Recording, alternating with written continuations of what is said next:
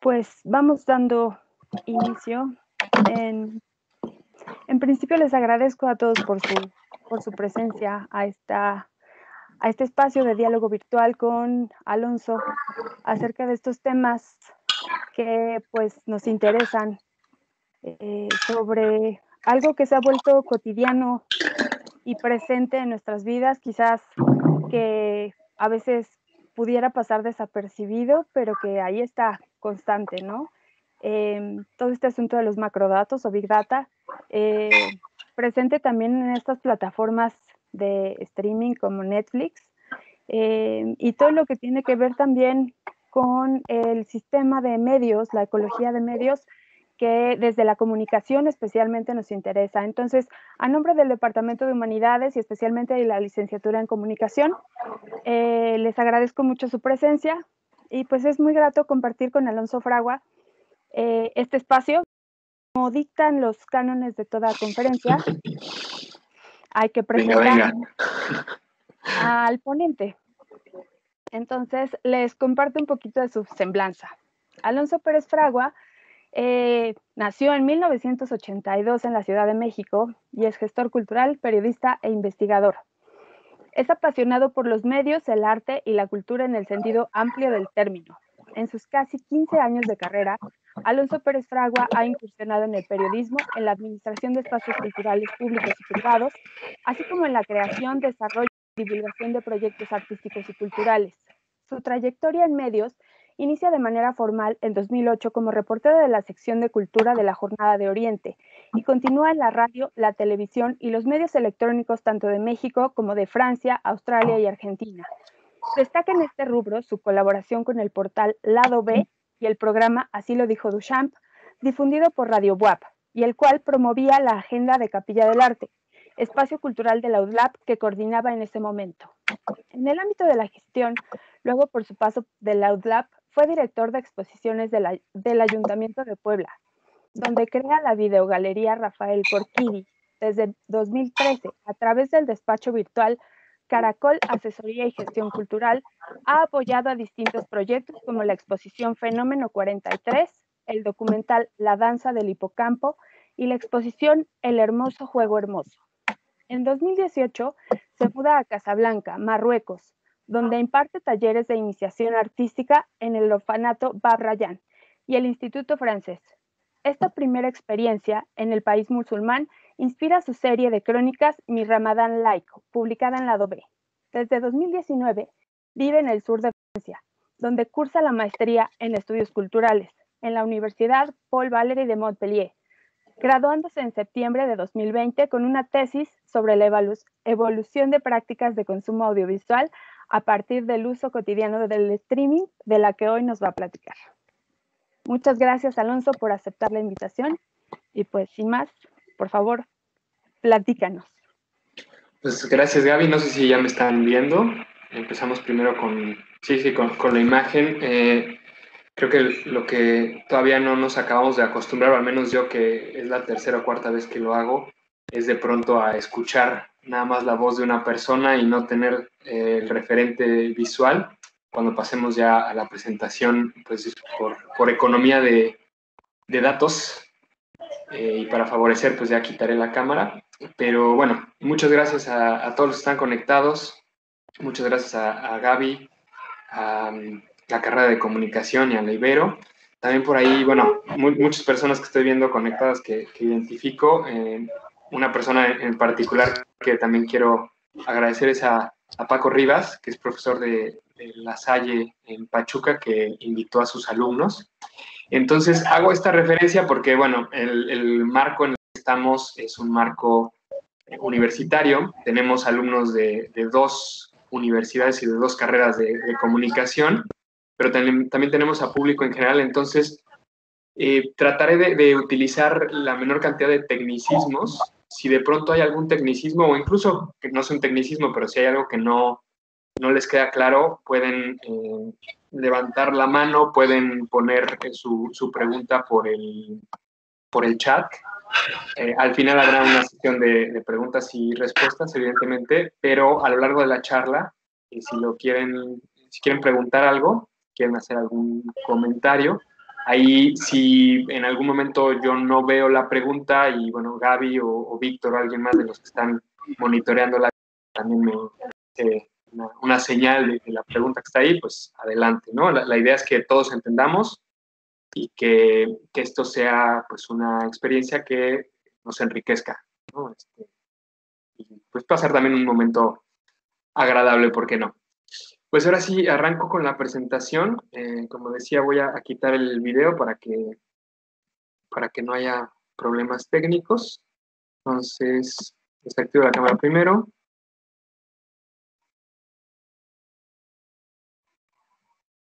Ahí está. Pues, ¿Ya, me siguen escuchando, Gaby? Sí, Alonso. Sí, ok, bueno, voy a activar entonces para compartir la pantalla.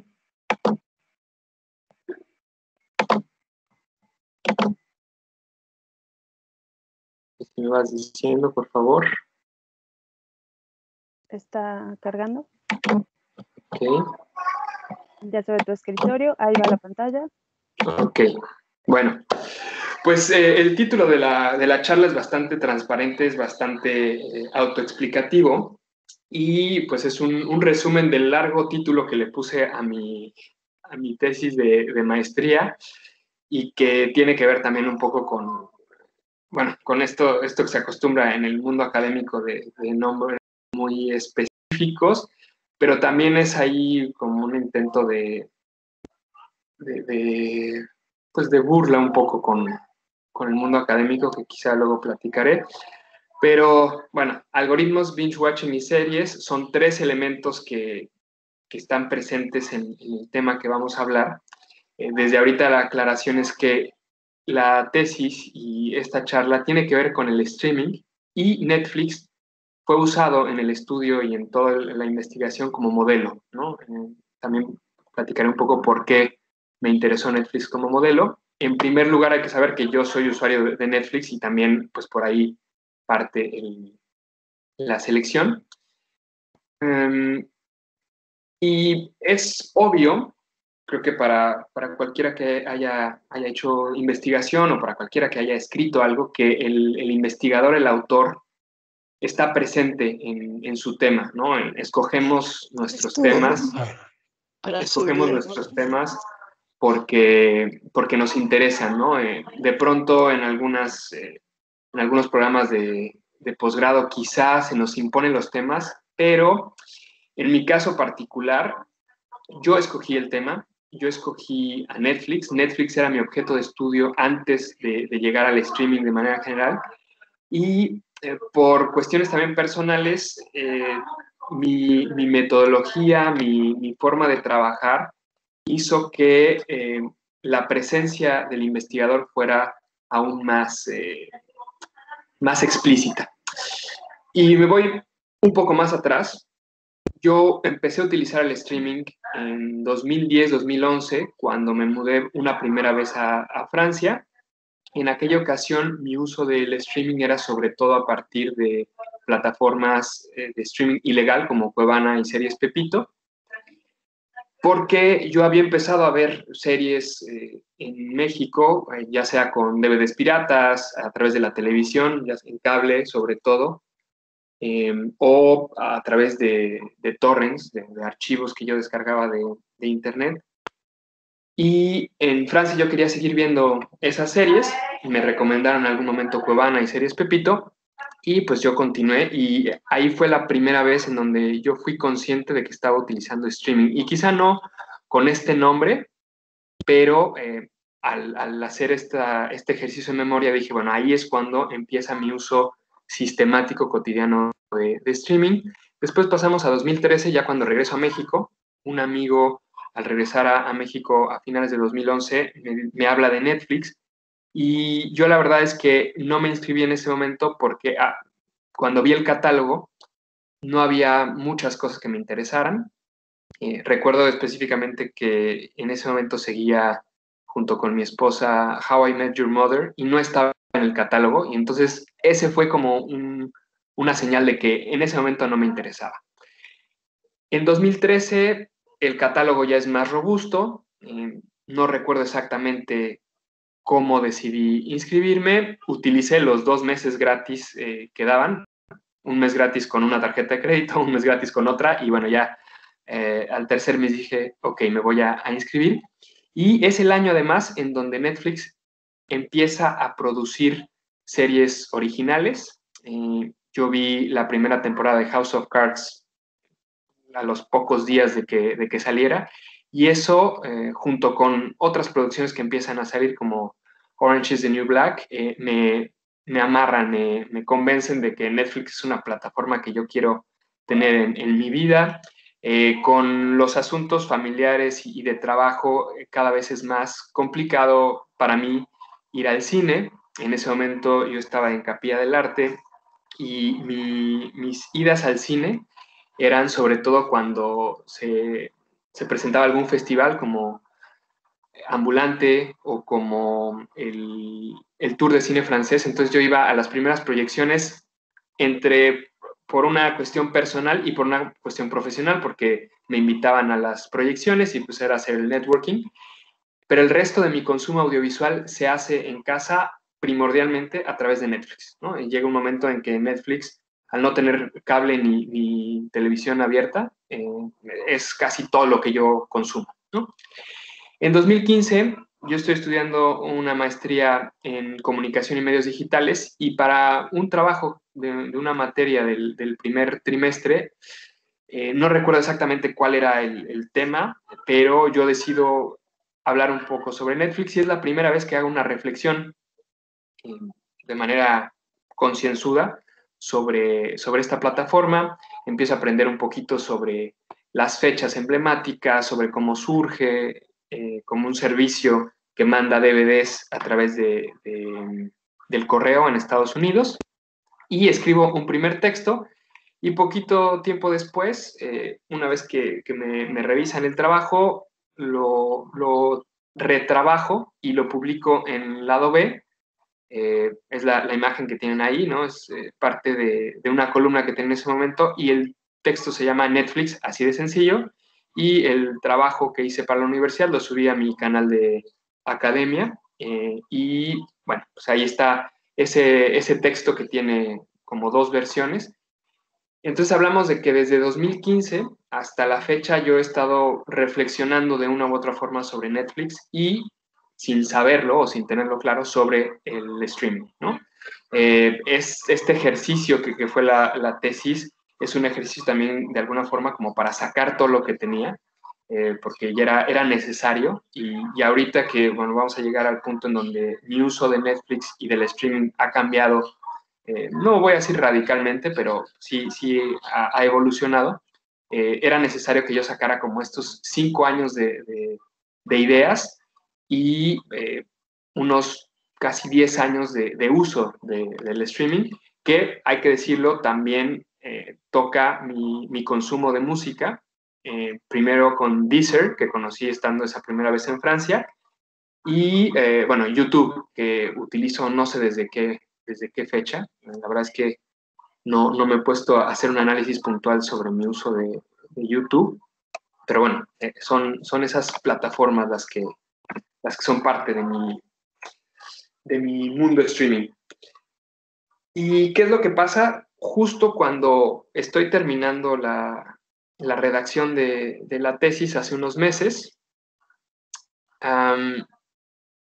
necesito ver un dato preciso sobre cuándo había visto una serie, porque necesitaba ese, esa información para ponerlo en el documento, y me doy cuenta que hay una nueva opción en Netflix para tener acceso a mi historial ya no nada más es posible verlo en, la propia aplicación, en la propia, eh, el propio navegador, si es que estamos utilizando el navegador, y ver cuándo vimos una serie, cuándo, este, y qué capítulos vimos, sino que ahora ya se puede descargar toda la información o prácticamente toda la información que Netflix tiene de nosotros.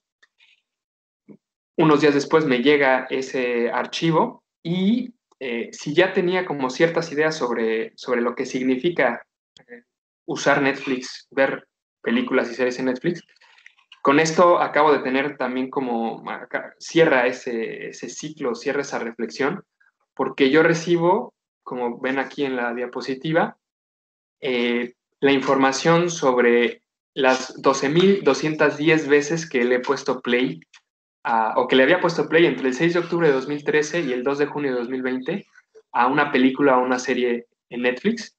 Son 5 megas y 28 archivos los que recibo. Lo que ven aquí es una copia de pantalla de, de, ese, de esa carpeta con sus subcarpetas. Y a la derecha lo que tienen es eh, una de estas eh, archivos de nota que trae la información de los detalles de la cuenta, ¿no? Eh, que parece de pronto un poco banal, ¿no? Pero yo el ver o tener entre mis manos, por decirlo de alguna forma, toda la información que Netflix tiene de mí, fue como, no, no un balde de agua fría, pero algo mucho más concreto a pensar que una plataforma digital está almacenando eh, toda mi interacción con, esa misma plataforma, eh, por ahí también podemos, platicar después, es la verdad muy fácil obtener estos datos y, y pues es echarse un clavado un poco a lo que Netflix tiene de nosotros, pero bueno, todo esto para, decir que esta investigación tiene mucho de, mis experiencias con Netflix y con el streaming y se van a ir eh, aumentando o se van a ir agregando las experiencias de otras personas porque pues esto no, es, no, fue un ensayo eh, de largo aliento, sino que fue una investigación académica. Pero digamos que ese es, eh, quiero empezar por, por el final de, ese, de ese viaje y cómo eso me hace eh, generar diversas reflexiones y por ahí algo que, que encontré una cita de, una persona de un instituto de investigación sobre cuestiones digitales aquí en, Francia, es que el, el uso, el registro y el almacenamiento de datos que hacen las plataformas de streaming no tiene en sí mismo nada de problemático, nada que nos debería alertar o asustar, eh, si solamente vemos una parte de, esos datos, si tenemos el consumo de un día o de un mes, pero ya en conjunto, cuando las personas y los programas que, tienen esas compañías tienen el conjunto de todos esos datos de lo que yo les puse, las 12.000 veces que yo he visto series o películas en Netflix, ahí es cuando empiezan los problemas. Y así este comparativo con lo que puede ser el que Google Maps o cualquier otro sistema de, geolocalización, de GPS, eh, tenga la información de meses o años de nuestros traslados. Cuando sabe nada más eh, que hacemos el camino de nuestra casa a la universidad o a la escuela de mi hija, por ejemplo, a las 12 del día, bueno, pues sabe que voy a recoger a mi hija o sabe que tal día voy a la, universidad.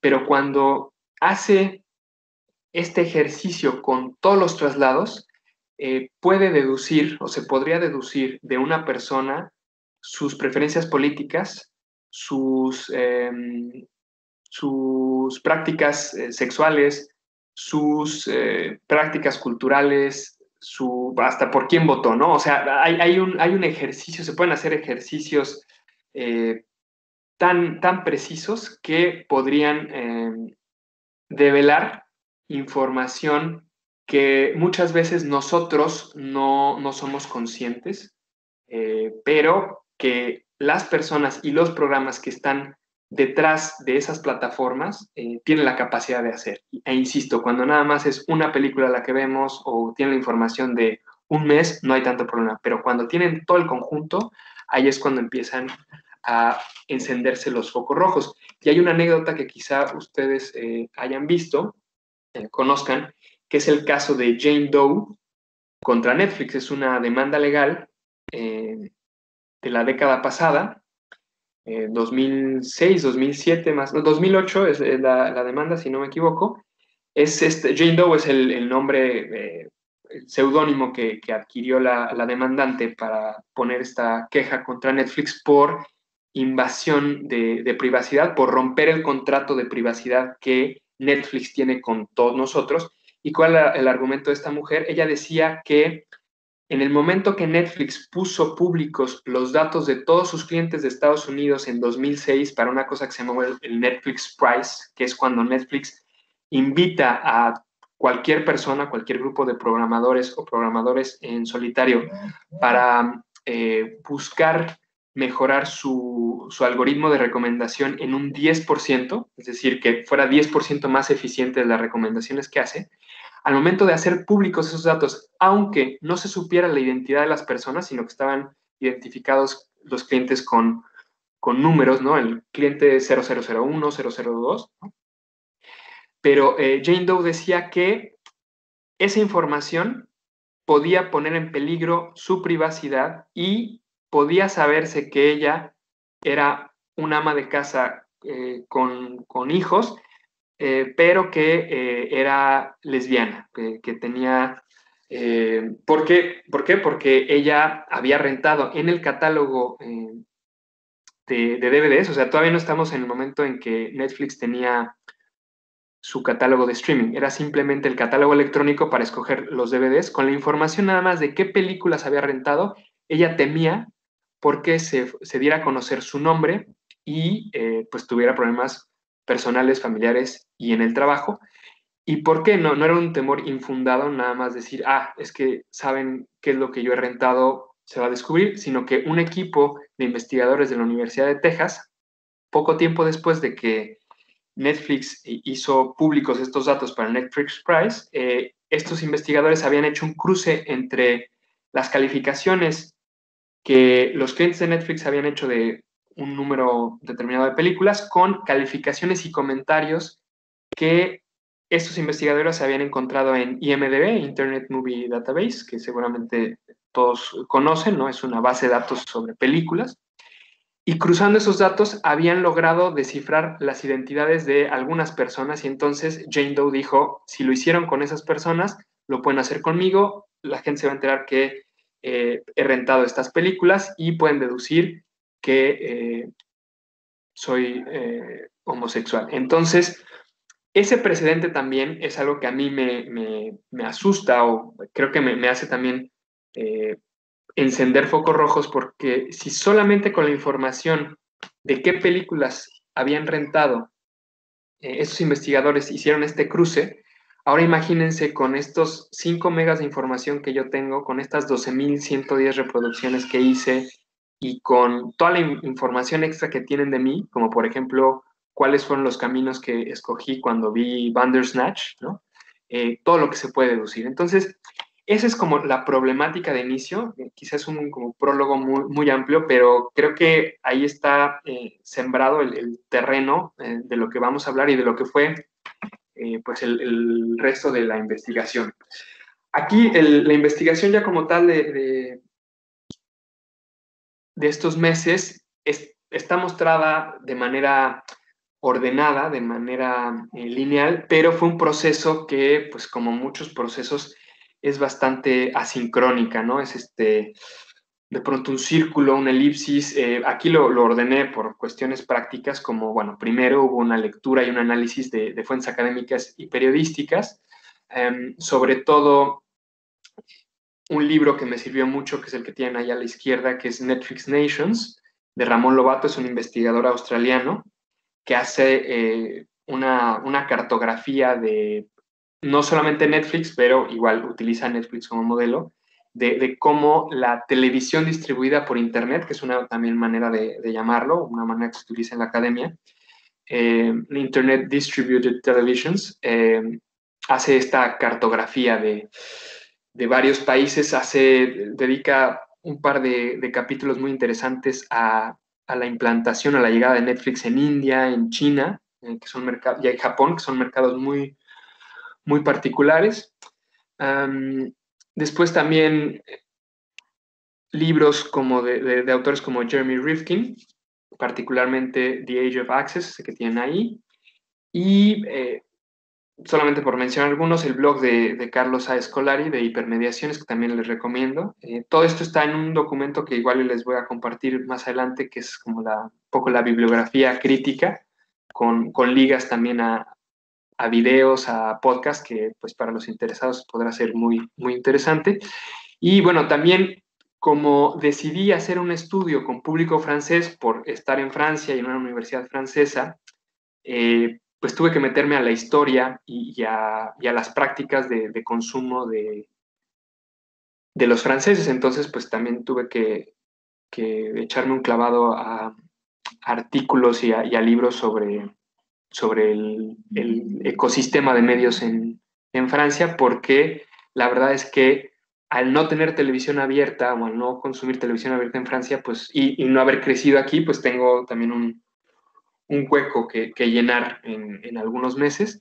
En algún momento la, pregunta que me planteaba era si hacía este estudio con público mexicano, si lo hacía con público de varios países. En algún momento, eh, buscando paralelismos con el tema de estudio, llegué a, la serie de Sense8, esta serie de las hermanas Wachowski, entonces decidí que iba a tomar dos personas de ocho países distintos, pero bueno, era un, esfuerzo muy complicado que no me daba la vida. Y al final dije, bueno, eh, va a ser Francia. Y eh, con eso me seguí.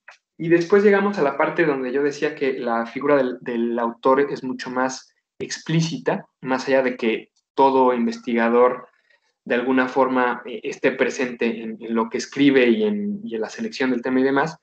Y me topé gracias a, un tweet que hacía por ahí un, amigo.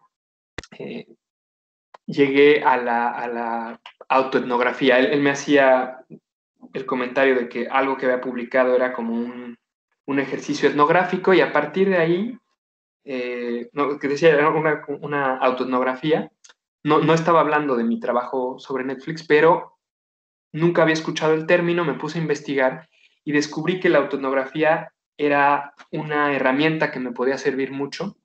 Era una herramienta que yo sin saberlo de alguna forma había utilizado precisamente en esa serie a la que hacía referencia, que, tiene que ver con, con los terremotos en México, en donde yo entrevisté a varias personas, pero también eh, yo hice una, varios relatos sobre, sobre mis experiencias con, terremotos. Y bueno, llegué a la autoetnografía, que es una técnica reconocida en, el, canon eh, de, las metodologías cualitativas. Em, se, ha utilizado para, hablar de, cuestiones tecnológicas. Por ejemplo, ahí el título del artículo que tienen arriba a la izquierda eh, tiene que ver con, con una autoetnografía eh, sobre, el, sobre máquinas, no dice The Machine That Goes Pink, si no, si no mal recuerdo, tiene que ver con, con, una, con una máquina de electrocardiograma. Y bueno, eh, hay autoetnografías de, de todo y, la autoetnografía además tiene nombres variopintos. Hay, eh, lo, lo, más fácil para definirlo es como una autobiografía, pero un poco más eh, académica, con, con, ciertos elementos que, que la hacen válida para, para un, un, estudio eh, científico. Em, y ya precisamente para, para, la tesis lo que empecé a hacer fue llevar un, un diario, un diario de, de, mis experiencias con Netflix, de mis reflexiones sobre Netflix, haciendo copias de pantalla sobre eh, tweets que, hacía reflexionando sobre series de Netflix. Por ejemplo, cuando terminó Orange is the New Black y cómo me, me sentía, hice un, un, tweet y, o un post en Facebook y entonces hice la copia de pantalla de, esos tweets y de esos posts y, y, los fui incorporando a mi, a mi diario. Y así, al momento de sentarme a escribir, tenía datos que yo había generado, que fui analizando pero previamente también la autoetnografía, bueno, ahí están las, copias de, pantalla que les decía, em, previamente, antes de, sentarme a escribir, ya la, hacer el reporte de, toda la, investigación, la autoetnografía también me sirvió para generar, de construir el, estudio, ¿no? Eh, como yo les decía, mi, mi, acercamiento al tema del streaming fue sobre todo a través de Netflix. Y entonces yo tenía que tener claro cuál era mi, mi pregunta de investigación. Gracias a la etnografía, más lo que yo fui leyendo, llegué a, la pregunta que ven ahí, cómo han cambiado las prácticas audiovisuales en Francia a partir del uso normalizado de la tecnología conocida como streaming.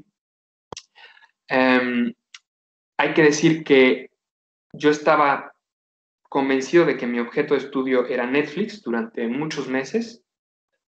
Hablando con mi, con mi director de investigación, llegamos a la conclusión de que el objeto de estudio era más bien el streaming, porque yo estaba con este debate de que eh, la plataforma de, de, Netflix tenía más que ver con un asunto de, material, de desmaterialización, es decir, de el consumir eh, cine en, una sala o a través de un DVD, de un objeto físico que podemos tocar, a ya no tener nada, la desmaterialización de, esa, de, esa película, de esa serie. Pero llegábamos a, y más bien también era un poco esta dicotomía de lo digital y lo análogo, pero nos encontramos con la problemática de que el DVD es un soporte digital, pero al mismo tiempo es físico y bueno, eh, después de, de discutirlo, eh, nos dimos cuenta que el streaming era como este punto de quiebre que, nos podía permitir ver cómo habían cambiado eh, las formas de, ver televisión y cine, series particularmente y películas, antes y después de que esta tecnología se, se instalara en, en este caso en el público francés. La etnografía también ayudó junto con la bibliografía de, particularmente de, los medios en Francia y el análisis de, estudios de consumo cultural que encontré sobre Chile y sobre Francia, el, de Chile también muy interesante, que por ahí viene también la bibliografía, eh, me, ayudaron a crear un formulario, una encuesta en línea eh, cuantitativa, ¿eh? porque ahí, ahí sí fue, la verdad, eh, un, un, deseo y una, un imperativo de mi director de tesis que fue, fue muy útil, la verdad, porque me decía, es que con tus solas experiencias y con las entrevistas que hagas a 10 personas, porque es lo que me iba a dar tiempo de, hacer, eh, hacen falta más información y sobre todo con esa información cuantitativa a ti te va a permitir eh, contrastar con, eh, sobre todo es eso, no es nada más tener información por tener información, sino poder contrastar lo que te van a decir tus participantes de la etapa cualitativa, lo vas a poder contrastar con la encuesta cualitativa. Y así fue, ¿no? Eh, me respondieron 936 personas el, cuestionario en línea y me dio información muy valiosa que me ayudó, sobre todo, también a, en, primer lugar, perdón, a construir el, estudio cualitativo.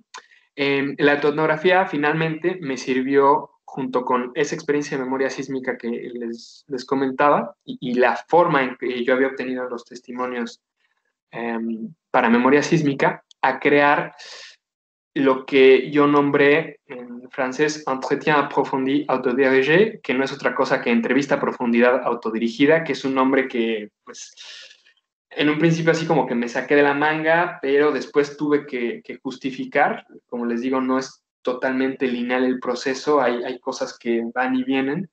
Eh, yo ya tenía el título de, de, de, la técnica, yo ya había utilizado de alguna forma la técnica en ese proyecto periodístico de memoria sísmica y bueno, eh, me di cuenta que en, el, eh, en los libros de, de, metodología cualitativa, en el canon de, de la investigación cualitativa, eh, la entrevista a profundidad autodirigida se cruzaba con muchas otras técnicas. Eh, fui incorporando también otras, otras cosas que, que, encontré en estos libros de metodología cualitativa para enriquecer cómo iba a ser la entrevista a profundidad autodirigida.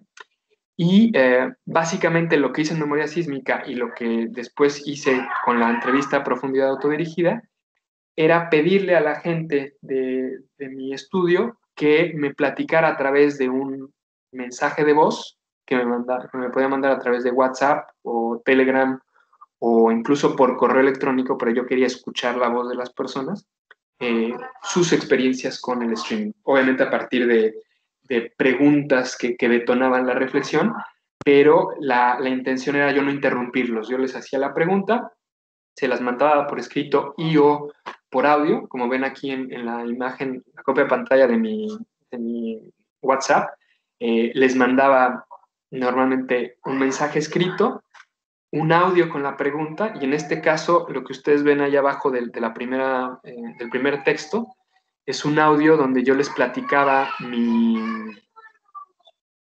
mi cotidiano, mi, lo que yo llamé como mi, jornada o mi día digital.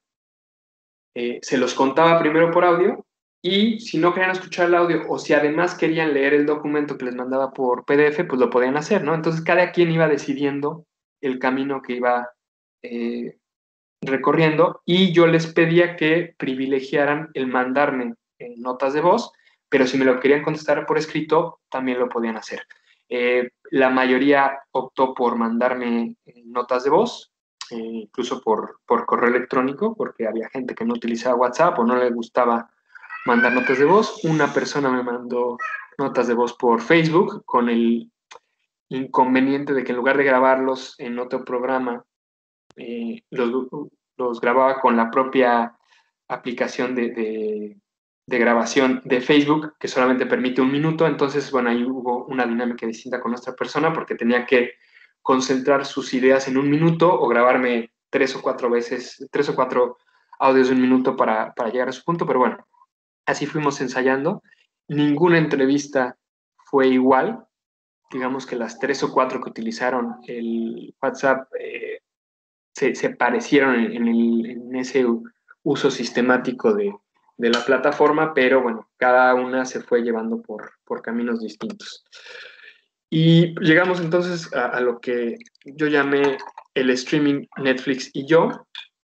Em, bueno, aquí les decía ya, la, primera etapa fue el cuestionario en línea, que dejé unas dos semanas. Eh, me había puesto el límite de mil participantes o dos semanas, lo que sucedía primero, llegué a 934, utilizando eh, grupos de Facebook de mexicanos en Francia, así de por favor compártanlos con sus eh, contactos en, Francia, a través de un podcast que se llama Netflixers, de aquí de Francia, les mandé la liga, y bueno, pues por todos los medios posibles, con amigos en, México que, tienen conocidos en Francia, porque un requisito no es que fueran franceses, pero yo necesitaba que hubieran crecido eh, en Francia eh, o que sus primeros contactos con el cine y con la televisión hubieran sido en Francia, porque necesitaba hacer ese comparativo. Entonces podía ser una persona que había llegado a los 5, 6, 7 años quizá a Francia desde cualquier país, pero sí que estuviera eh, educado en, el audiovisual francés. Entonces ahí pues se, discriminaba a, ciertas personas.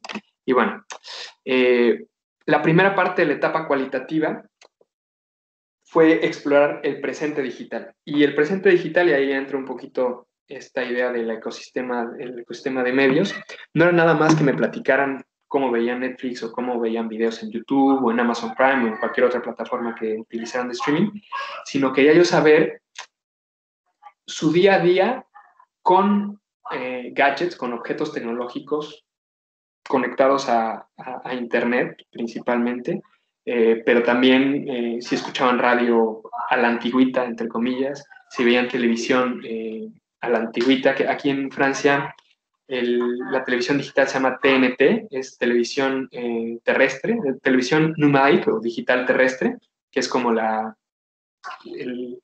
lo que en México fue el, apagón digital, o sea, el, tener este, los, los canales ya digitales, pero sigue siendo la televisión abierta. Entonces yo quería conocer cómo veían eh, productos audiovisuales, cómo escuchaban eh, música, radio, etcétera, eh, si leían en, en, tablet, en teléfono o en papel, ¿no? Em, previamente, en la etapa cuantitativa, yo le había preguntado a la gente cuántas veces iba a la biblioteca, si tenían tarjeta de biblioteca, si jugaban juegos de mesa, videojuegos y demás, para tener este, este conjunto de, datos de, cómo era su cotidiano eh, en cuestión de prácticas culturales. ¿no? Ah, había olvidado aclarar que la gran mayoría de los participantes de la etapa cualitativa salieron de las personas que participaron en la etapa cuantitativa. Eh, al final yo les decía, si quieres continuar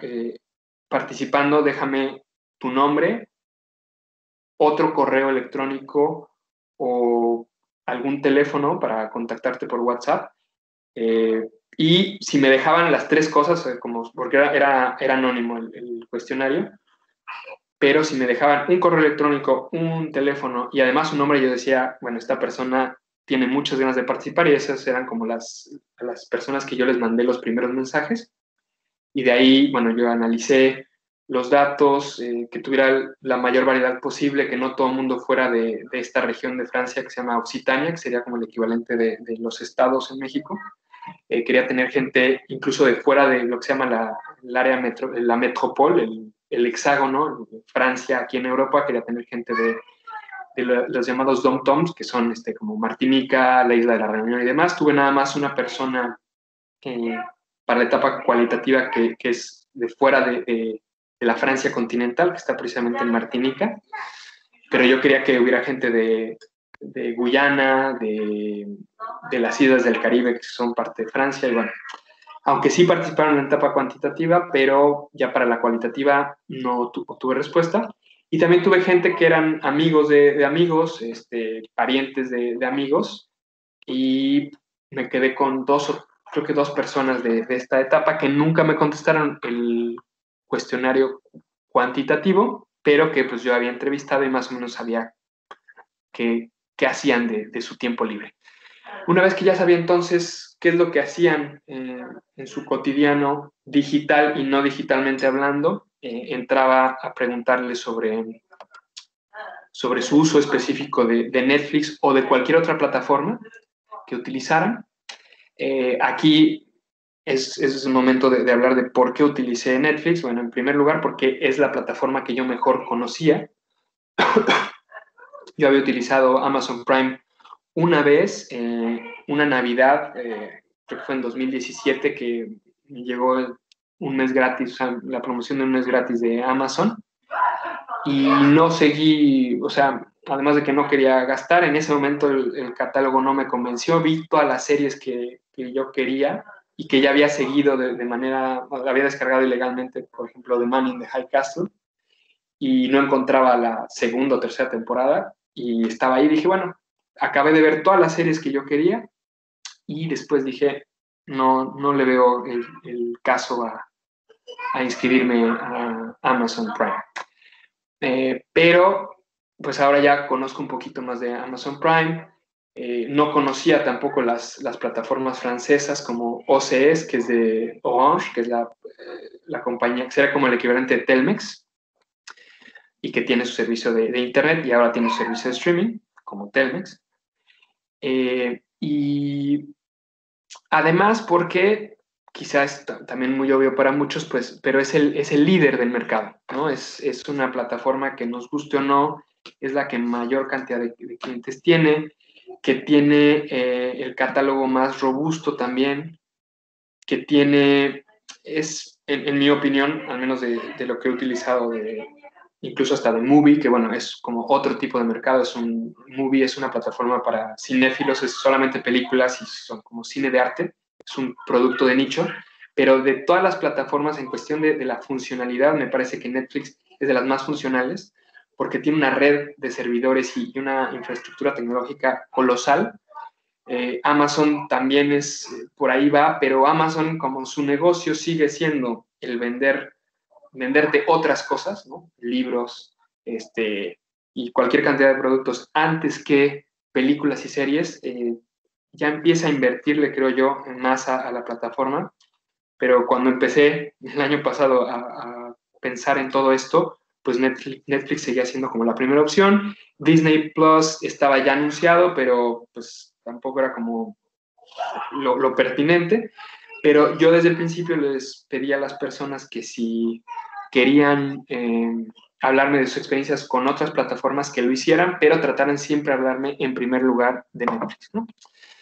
Em, después llegamos a la, segunda parte, que es donde les pedí regresar al, pasado y hablarme de cómo veían la televisión eh, antes de que empezaran a utilizar streaming, de cómo veían películas, de sus primeras experiencias en el, en el cine, de sus primeras experiencias viendo películas en casa, ya sea a través de la televisión abierta o con, con VHS, DVDs. También ahí, cuando analicé la información del cuestionario cuantitativo, busqué que fueran incluso las personas más jóvenes, que fue la mayoría de, de los participantes, eh, les pedí que, o busqué gente que hubiera utilizado la mayor cantidad de, soportes o que tuvieran la mayor cantidad de experiencias, que estadísticamente digamos que no es, em, no es justificable, por llamarlo de alguna forma, no, es estadísticamente eh, relevante porque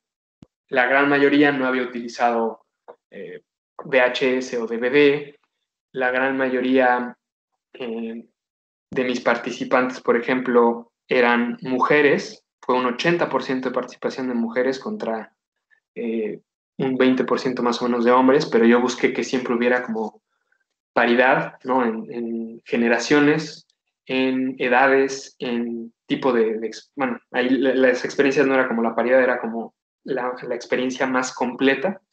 Pero bueno, eh, en esa segunda parte exploramos eh, qué significó para cada una de esas personas el, adentrarse a, las series y al cine desde sus primeros años. Entre la primera y la segunda parte nos agarró el confinamiento, nos agarró la cuarentena. Em, son de estas cosas que, bueno, ya, ya se vuelven como ociosas a veces, pero es importante mencionar. Ahí perdí durante la cuarentena a, ya no recuerdo si fueron tres o cuatro personas, creo que empecé el estudio con 12 o con 13 y acabé con 8 o 9. Eh, de pronto dejaron de contestarme los mensajes. Eh, yo también tomé un momento como para dejarlo respirar, porque pues para todos aquí la, la cuarentena empezó el 14 de marzo. Entonces yo desde el, desde el 12 de marzo que se empezaron a anunciar medidas un poquito más estrictas, yo ya veía que pues, pensaba cómo iba a afectar esto al estudio, de manera un tanto egoísta ciertamente, pero pues uno tenía que terminar la investigación y la tesis. Y había personas que no me contestaban y yo decía, bueno, una, una persona que fue de las experiencias más enriquecedoras, eh, de más de 60 años, y dije, híjole, ¿qué tal que se enfermó y por eso no me contesta? Y tenía además una mamá que estaba en, la casa de, ancianos y que ya me había platicado un poco de ella en los intercambios y dije, ¿qué tal que la, la mamá se enfermó? Y bueno, me iba haciendo yo también mis, mis telenovelas en la mente eh, y al final las personas que no me contestaron, no sé por qué dejaron de contestarme,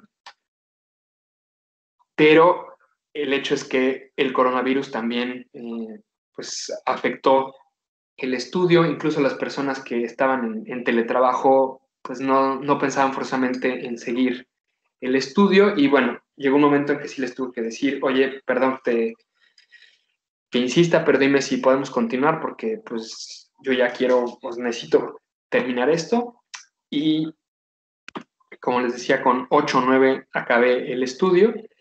La tercera parte del estudio en sí mismo fue la explicación del vínculo e influencia con el algoritmo de recomendación, particularmente de, Netflix, pero igual hablaron de YouTube, por ejemplo. Y la cuarta parte que ya no tenía que ver en sí con con estas experiencias con el audiovisual, pero que al final yo me di cuenta que, necesitaba este, tener este tipo de retroalimentación fue una opinión sobre el estudio y sobre todo una opinión sobre lo funcional que había sido la técnica para, las personas de eh, haberme mandado sus, mensajes de voz a través de, de WhatsApp, ¿no? que le llamo la, entrevista, la, entrevista, entrevista a profundidad autodirigida, eh, porque a lo largo del estudio me di cuenta que, el robustecer o el, poder justificar eh, el uso de, la metodología era, era, importante. También por ahí, bueno, no sé si ha conectado, pero Luis Álvarez, Luis Albas, a quien le mando un saludo y agradezco también su, su apoyo en la, la charla que tuvimos específicamente sobre, sobre metodología y demás, él me dijo que pues, siempre era interesante el poder hacer aportaciones y, poder justificar muy bien las metodologías, y bueno, pues, tiene toda la razón. Entonces yo dije, necesito también datos sobre eh, cómo les funcionó a las personas el, haber utilizado esta técnica, ¿no? Y fue bastante eh, alentador, fue bastante alentador a la opinión de las personas. Podemos considerar también un poco que, bueno, se sentían como obligadas a decir que les había, les había gustado, pero también un análisis un poquito más frío y con cosas específicas que dijeron, bueno, parece que, que fueron sinceras. Había una persona que me decía, yo la verdad es que soy muy mala para, este, concentrarme y, y, no en cualquier momento te hubiera podido conceder una o dos horas si me hubieras, este, si me hubieras pedido una cita físicamente o por, por videoconferencia y entonces eh, yo darme la oportunidad, yo ir controlando mi tiempo y decir, ah, tengo pendiente esta pregunta que me hizo Alonso, se la voy a contestar ahorita, me, gustaba mucho, ¿no? Y cuando iba construyendo el, estudio, que a veces era como forzarlo, pero otros se, dio de manera muy orgánica, muy natural, yo también buscaba formas para o, paralelismos entre el uso de, plataformas digitales o el, el, uso del streaming y el, la metodología, ¿no? Yo decía, una de las grandes ventajas, una de las cosas que, que la gente menciona o que yo me he dado cuenta que, me gusta del streaming es el que yo controlo cuando veo eh, la serie, yo decido cuándo lo paro, cuándo no. Entonces esa idea del control me parece importante también en la entrevista y es algo que, que también justifiqué y que platiqué eh, al hacer el análisis de, la metodología y que, y que yo creo, este, sinceramente, que, que también había que, buscar las formas de, reforzar de manera indirecta, ¿no? Este, como toda esta experiencia del streaming. Y finalmente, el, estudio se, hizo online, la, experiencia con el streaming es una experiencia online, entonces pues también era eh, pertinente o pues funcionaba muy bien hacer como este tipo de, paralelismos. Otra, otra cuestión que yo les los invité a hacer es que al final, para reportar los datos, ellos escogían si utilizaba su nombre o utilizaba eh, su segundo nombre o un seudónimo que se inventaran, como de pronto nosotros en línea decidimos poner nuestro nombre o inventarnos una, una identidad o un nombre distinto. ¿Qué Perdón, ¿qué pasó? Ok, perdón. Eh, entonces, eh, la, la, idea de la entrevista a profundidad autodirigida fue bien recibida, me funcionó. Y bueno, ahí los, eh, los iconitos que, que, puse y los tamaños tiene que ver con, con un poco el, el, número de personas o la, la, importancia que cada plataforma tuvo para el estudio, ¿no? Como les dije, se utilizó mucho más el, WhatsApp en mensajes de audio, pero también en mensajes de, texto. El correo electrónico lo utilicé con dos personas, eh, una que me escribió nada más y que de pronto se ponía a platicarme de su vida y de sus problemas maritales y después se ponía a, a contestar mis, mis, preguntas. Y solamente con una persona eh, intercambié mensajes de texto y mensajes de audio por, por, Facebook, pero fue una de las personas que perdí en, el, en la cuarentena. ¿no? Eh, aquí les voy a poner nada más este, un audio, que, que es el, el, audio que les decía que yo mandé por primera vez. Está en francés, pero bueno, vamos para que... Aquí está. Olviden el... Para los que hablen francés, disculpen la pronunciación y demás.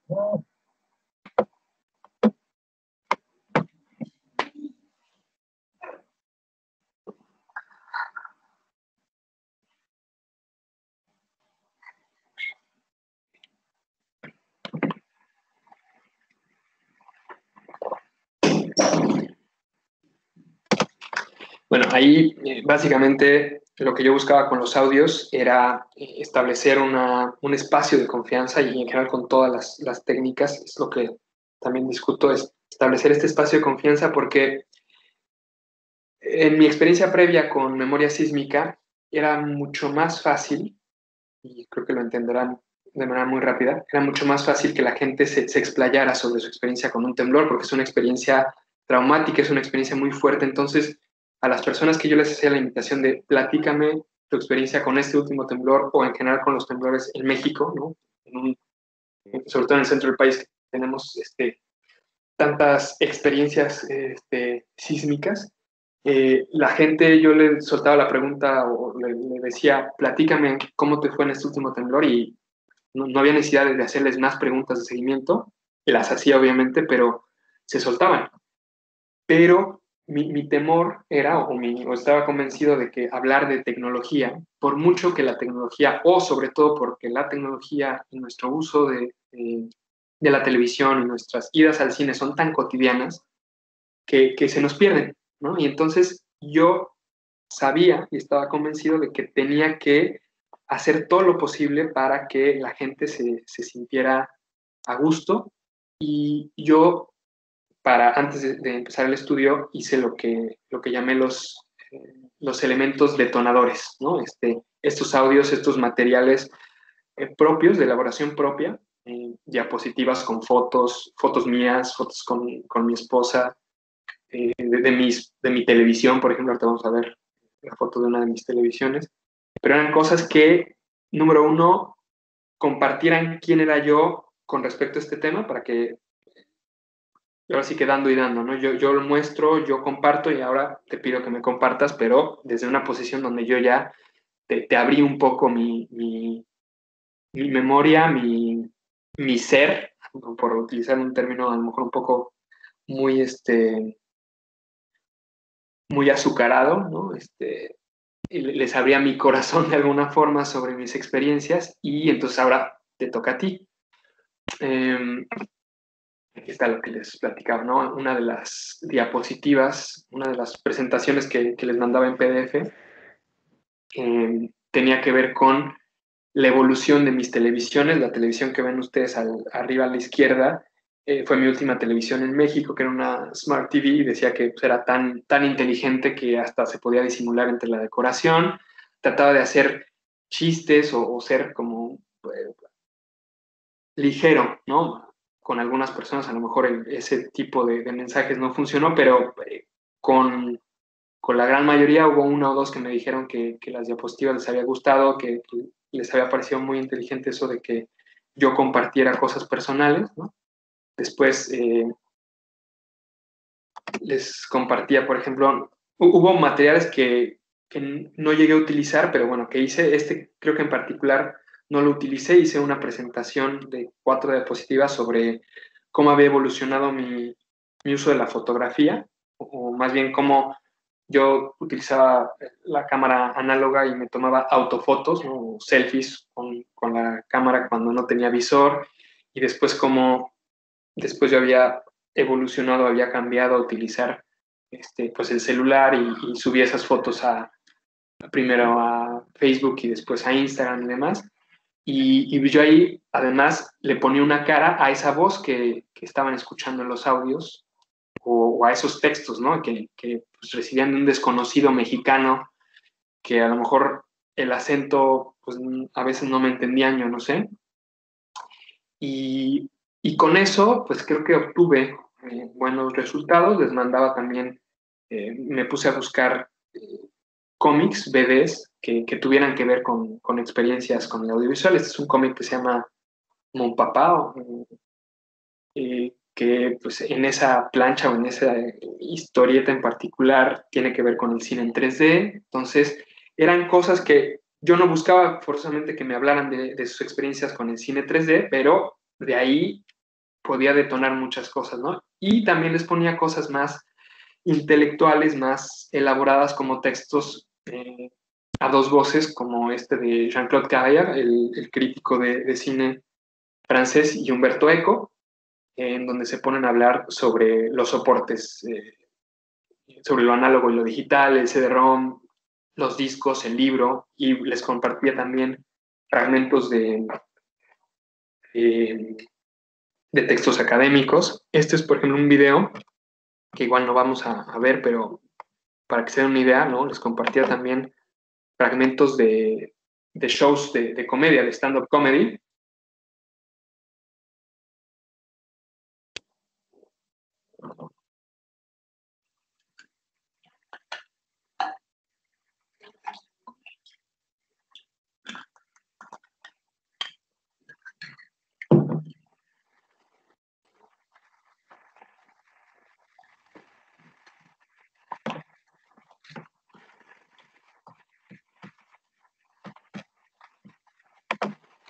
Bueno, eh, la idea era, insisto, utilizar el humor, el humor que igual ahí sí no me puse a justificarlo porque es también como bastante obvio y, y no, no, veía tampoco el, caso de, explayarme ahí, pero pues el humor se, se usa y ayuda a, que la gente se abra.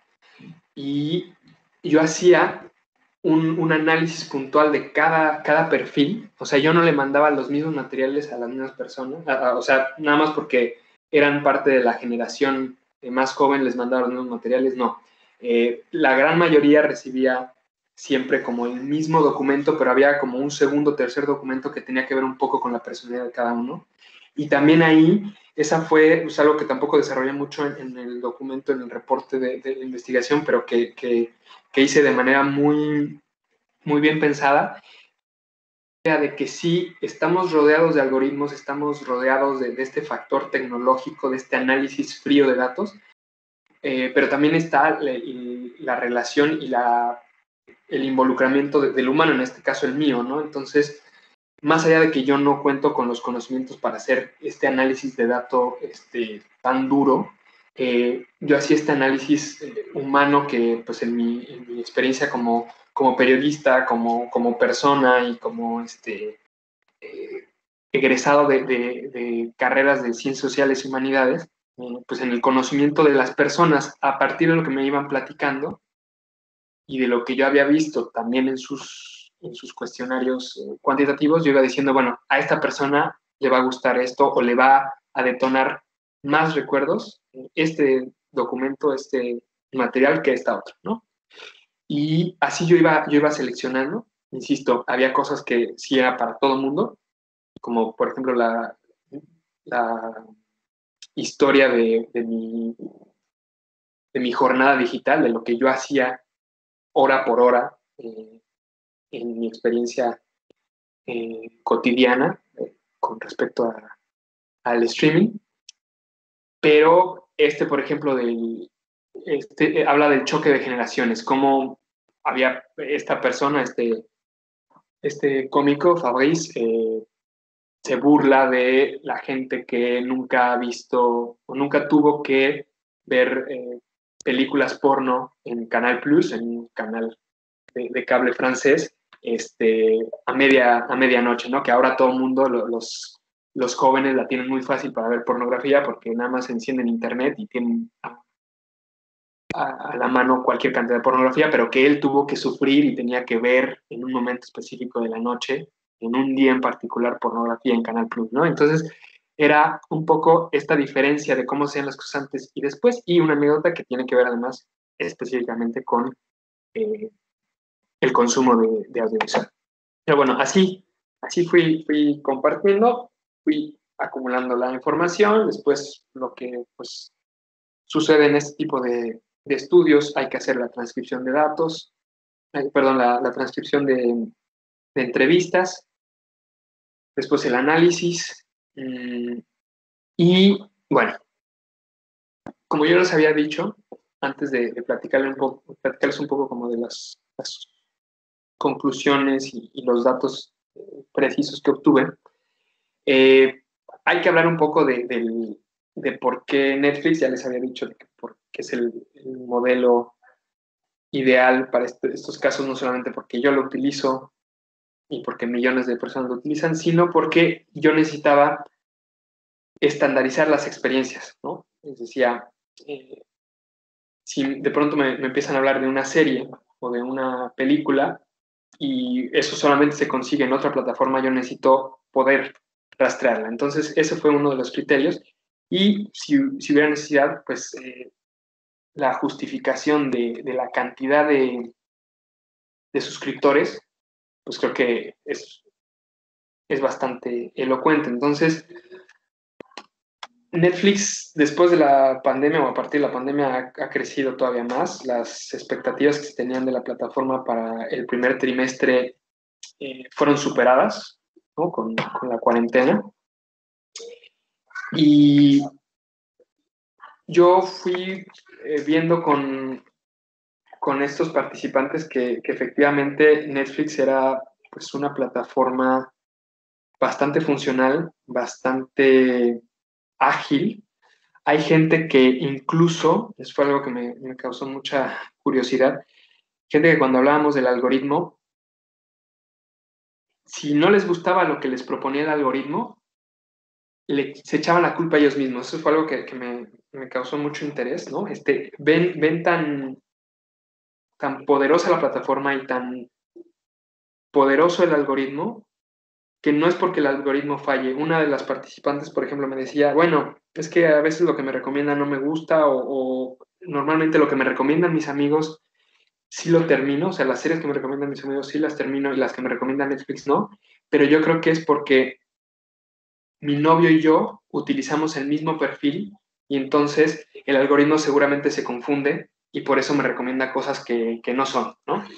Y otro, otro de los participantes, que es una persona que tiene problemas de concentración porque tuvo algún tipo de, experiencia traumática que, lo tiene ahora bajo medicación, y es algo que me hablaba abiertamente, dice, a mí desde ese accidente, que nunca me dio detalles, pero yo sabía que tenía problemas para concentrarse y distintas problemáticas. Me dice, eh, es una, me hablaba por ejemplo de Roma. Dice, Roma, yo la empecé a ver y la quité, pero la recomendación de Netflix está bien, es que simplemente yo ahorita no puedo ver una película tan larga y en blanco y negro y en español. Quizás si la hubiera ido a ver al cine, eh, hubiera sido otra experiencia porque yo necesito para cosas con esas características tan densas, necesito estar en el cine para, para concentrarme, ¿no? Y, otra cosa que también eh, fui descubriendo eh, y que en general eh, no son de las conclusiones de las que les voy a hablar ahorita, pero que también es creo que muy importante y muy interesante platicar, es que a veces nos encontramos con estas opiniones tajantes de que, por ejemplo, Netflix va a matar al cine, ¿no? O que las plataformas de streaming van a acabar con el cine. Bueno, hay realidades muy distintas en cada país, quizás hasta en cada ciudad.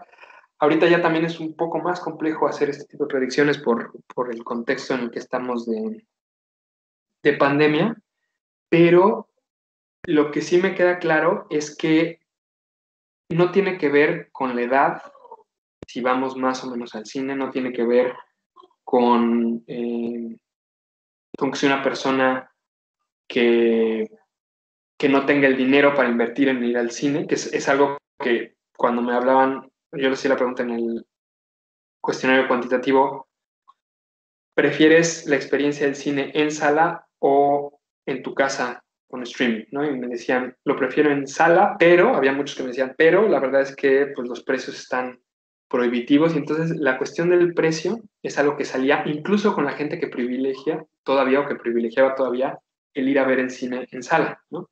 Y entonces, ahí, a título personal y un poco soportado por, por los datos que, que, obtuve, como es un poco las conclusiones que tengo en general, ¿no?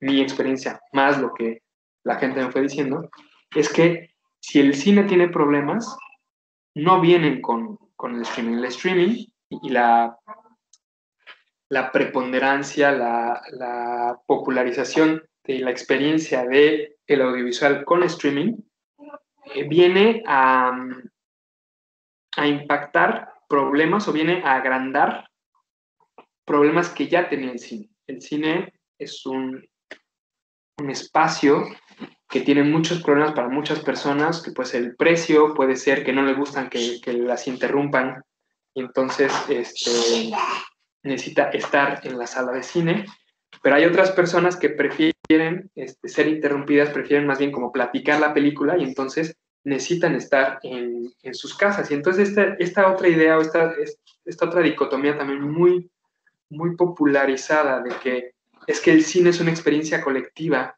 y el cine en casa o el streaming está acabando con, con esa facilidad de, de, platicar nuestras películas, tampoco es cierta para todas las personas. Hay gente que prefiere irse a aislar al cine y hay otras personas que prefieren aislarse en su casa.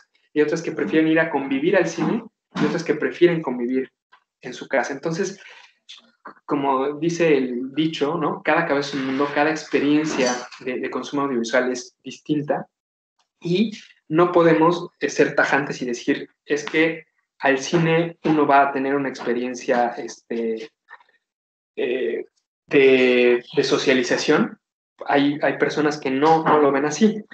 Lo que sí es una realidad es que a nivel técnico, pues creo que no se puede comparar la, la, experiencia en una sala de cine, ¿no? Tener la pantalla de varios metros contra incluso las pantallas eh, de casa más grandes, pues no se comparan con, con lo que podemos tener en una sala de cine. El sonido, eh, pues a lo mejor tenemos un home theater muy poderoso, pero bueno, eh, todavía no llegamos al, punto en donde se pueda sustituir la experiencia de sonido que se tiene en sala. Pero bueno, al final, el, streaming no fue el primero en, en replegarnos, por decirlo de alguna forma, a nuestras salas o a nuestras habitaciones, ¿no? Antes estuvo eh, el DVD, antes estuvo los cassettes VHS y beta, antes estuvo la televisión en general. Entonces, con cada nuevo actor que llega a este ecosistema de medios, se, diaboliza, se, se, empieza a hacer historias de que no es que va a matar, va a acabar con,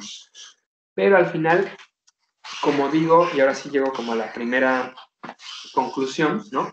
Eh, Netflix y el streaming en general no inventaron nada el binge watching, que es algo que es súper popular y que se, relaciona, se vincula directamente con, con Netflix en particular y con el streaming en general, no lo inventó Netflix. Digamos que el streaming eh, tiene esta facilidad, nos facilita la vida en muchísimos sentidos y eso es lo que hace que las experiencias sean mucho más eh, concentradas, mucho más intensas, por llamarlos de alguna forma, eh, cuando hacemos streaming.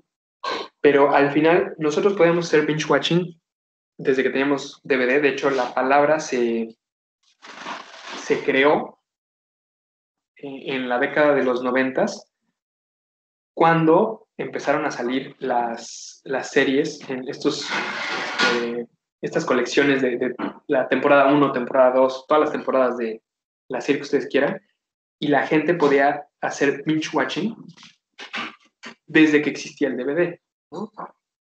Y el término se popularizó años después, al final de la década de los 2000, con eh, plataformas como, como, como, Netflix o con eh, la descarga de, archivos a través de BitTorrent, por ejemplo.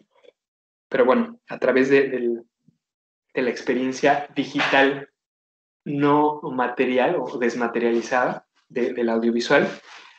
Y lo que hace el streaming es que es mucho más fácil hacer ahora binge watching, ¿no? Y Netflix está, sabe que, que, su, su, negocio está en darnos más y más y más y más este, series para binge watchar, pero desde que existe el VHS, por ejemplo, podríamos hablar de que se podía hacer binge watching, podemos grabar nuestras series y seguir haciendo watching, ¿no? Entonces, todos los, los pecados, y bueno, muchos de los pecados y muchas de las bendiciones que nos trae el Netflix y el streaming son cosas que simplemente se intensificaron, se hicieron más, eh, más fáciles, pero que no fueron inventadas por, por Netflix, ¿no?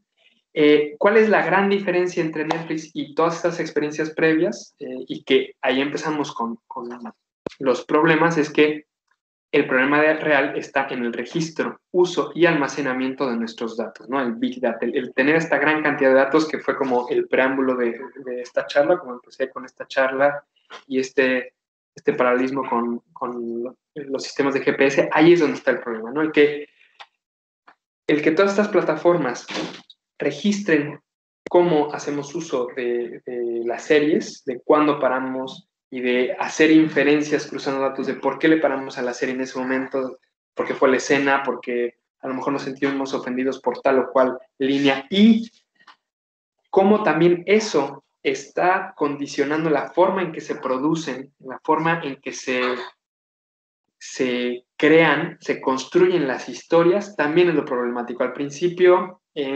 Netflix, y todavía se, se habla mucho de, de, cómo es muy... Em, cómo está favoreciendo la creatividad, la, existencia de Netflix, ya empiezan a salir artículos y, opiniones que, más bien experiencias de, creadores de, series, de, películas que dicen, es que Netflix no me permitió hacer tal o cual cosa porque los datos le decían a Ted Sarandos, que es el, el presidente o el, encargado de, producción y de adquisiciones de Netflix es que los datos le dijeron a Ted Sarandos y al equipo de Netflix que no se podía hacer eso y que debíamos hacerlo de tal o cual forma. Entonces, ahí está lo problemático, ahí está en lo que sí se distingue Netflix y las plataformas de streaming que hacen uso, como lo hace Netflix y Amazon Prime, por ejemplo, de nuestros datos. Y ahí es donde empezamos a tener eh, los focos rojos, como decía en un principio. ¿Qué hacer ante, ante, este, segundo ante este problema y ante esta segunda conclusión, esta idea que les presento, que les acabo de presentar? Que nos hace falta una alfabetización digital. Y un poco todo lo que estoy diciendo aquí quizás son como cosas muy obvias, sobre todo para los que, los que estamos en, en estas cuestiones de, del audiovisual y de los medios, pero que me parece importante como poner todas en, una sola charla o en un solo espacio. Y en particular esto de la alfabetización digital, pues es como antes hablábamos de la alfabetización mediática, ¿no? Y de que la gente eh, no, no nace, nadie de nosotros nacemos sabiendo leer, nadie de nosotros nacemos eh, sabiendo cómo ver un noticiero, este, por qué un noticiero eh, acomoda la información de tal o cual forma. Y de la misma manera, nos hace falta una alfabetización digital, una, una educación, una formación sobre esto que les estoy platicando, ¿no? Que las plataformas de streaming están registrando nuestros datos y que la gran mayoría de la gente lo sabe, pero a veces no, no nos cae el 20 de por qué es problemático y que, bueno, que, o espero haber yo como armado este rompecabezas para que nos demos cuenta de, de, dónde está lo problemático. No quiero decir que tengamos que dejar de utilizarlo, pero al menos saber de qué pie cojea, ¿no? De, qué lado más la iguana que se llama Netflix o que se llama eh, streaming.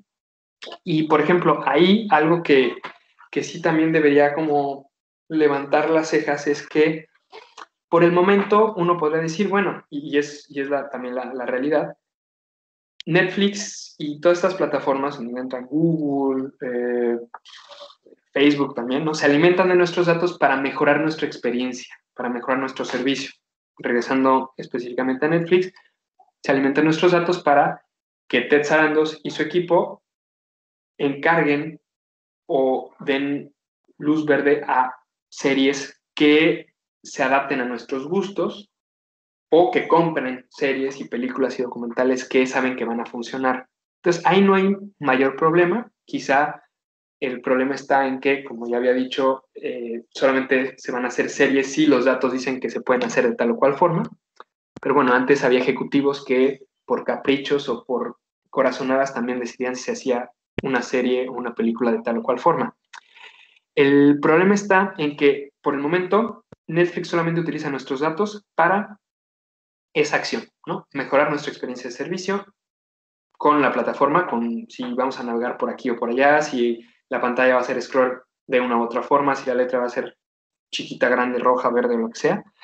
Pero ¿qué pasa cuando Netflix, que se está endeudando año con año para poder mantener ese presupuesto de billones, de, bueno, de miles de millones de dólares para producir y comprar series, ¿qué pasa cuando nuestras mensualidades de ciento y tantos pesos no alcance para cubrir esa deuda? Ahorita Netflix no, no salve esa deuda.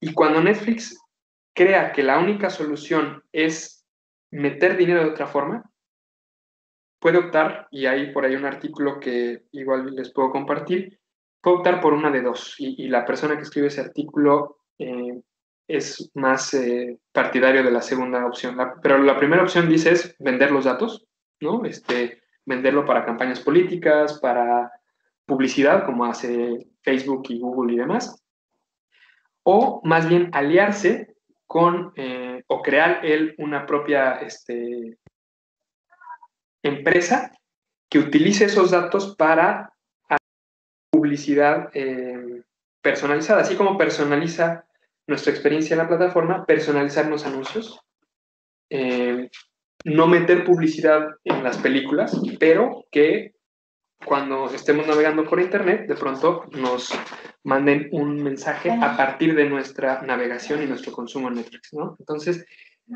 ¿estaremos de acuerdo con eso o no? Cada quien tiene la respuesta, pero a lo que me refiero con alfabetización digital es saber cuáles son los peligros y con este conocimiento decir, ok, sí sigo utilizando tal o cual plataforma, particularmente Netflix, o no.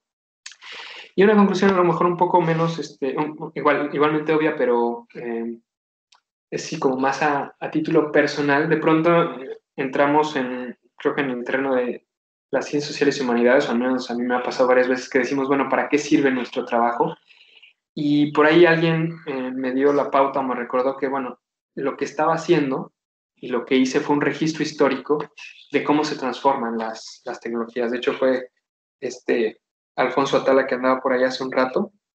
Este, eh, en el glosario, por ejemplo, que, que tengo al final de, de, la tesis y que también fue algo que puse un poco a consideración de la comunidad a través de Facebook, fue de, oigan, es que debo de registrar en el glosario o debo explicar en el glosario este, qué es Snapchat o qué es Facebook, son cosas que la mayoría de personas sabe qué es Facebook. Y me decían, bueno, es que en este momento todo el mundo sabe qué es Facebook, pero si tu tesis es consultada de aquí a 15 años y ya no existe Facebook, ese será un registro eh, académico, una fuente pues, más o menos confiable, espero, de, eh, de que existió Facebook. Y en general todo esto que hice de entrevistar a las personas, de, pedirles sus experiencias con, con, los, con los distintos medios que he utilizado a lo largo de, su vida, pues también es un registro histórico de esas transformaciones tecnológicas, de las transformaciones de nuestros usos de, los medios, que me parece pertinente, pero que no entendí en un, primer momento y que, bueno, al final este, me fue claro. Y más que conclusión, es una reflexión que yo sigo haciendo y que no me he querido poner a, escribir al respecto en, en columna que tengo en lado B, en donde fui también como, fui, fui, se fue nutriendo eh, la tesis de lo que escribía en la columna y la columna de lo que escribía en la tesis. No he querido escribir todavía esa entrega, ese texto sobre el impacto ambiental del streaming, pero solamente como, como inicio de esa reflexión o de esa discusión, eh, tenemos que hablar seriamente de el impacto ambiental del streaming y en general es el impacto ambiental de Internet y sobre todo en el contexto que estamos viviendo. Eh, en la tesis no salió porque nadie de las personas que entrevisté me habló de eso. Yo tenía esta inquietud desde el principio, pero me pareció que era un desvío que merece como mucha atención, pero simplemente el pensar que pues, esta charla está consumiendo datos, está generando datos, esos datos se tienen que almacenar en un servidor, esos servidores están en data centers, en centros de, datos, y son hectáreas y hectáreas de, computadoras que consumen energía eléctrica para estar encendidas y que consumen además energía eléctrica los ventiladores para que no se calienten esas eh, computadoras. Eh, la red particular de Netflix eh, no, no se sabe cuánto se consume. Netflix, hasta la última vez que revisé, no transparentaba información sobre qué tipo de energía usa para alimentar toda la infraestructura tecnológica. Me refiero si utiliza eh, combustibles fósiles o si ha optado por energías renovables como solar, eólica y demás. Pero es algo que tenemos que analizar, que se tiene que discutir y desde ese análisis, y es lo que yo hago por todas estas cuestiones de, de vigilancia y privacidad de, las que, privacidad de las que ya les he hablado, pero también por una cuestión de impacto ambiental, trato de utilizar menos hoy en día eh, Netflix. He reducido, para más porque ya no tengo que, ya no tengo esa obligación, entre comillas, de ver todas las series que hay en Netflix. Lo reduzco a un capítulo o una película cada noche, que de todos es mucho para ciertas personas ya no utilizo Spotify casi para nada. Eh, gracias a la red de bibliotecas aquí en Francia puedo sacar DVDs y CDs de la biblioteca y con eso eh, saciar mi sed de, de, música y de series y de películas. Eh, y bueno, tratar de, de, hacer un uso más, más concienzudo y más responsable de, de Internet y particularmente el streaming como trato de hacer un uso, un, un, uso responsable de muchas otras cosas, pero bueno, particularmente para el tema de, de streaming y, de, y del Internet, todo este viaje que, fue la tesis me llevó incluso hasta, hasta ese punto. Entonces, bueno, la, presentación termina aquí, que ya pues, es más que suficiente, fue más de una hora. Eh, abro los micrófonos o no sé cómo quiera Gaby eh, proceder para, para las preguntas.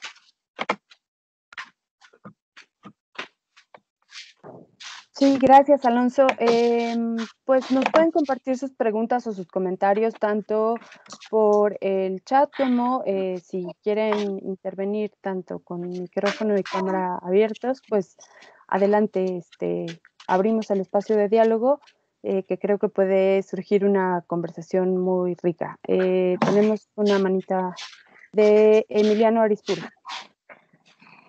Hola, ¿qué tal? Eh, mucho gusto. Gracias por la presentación.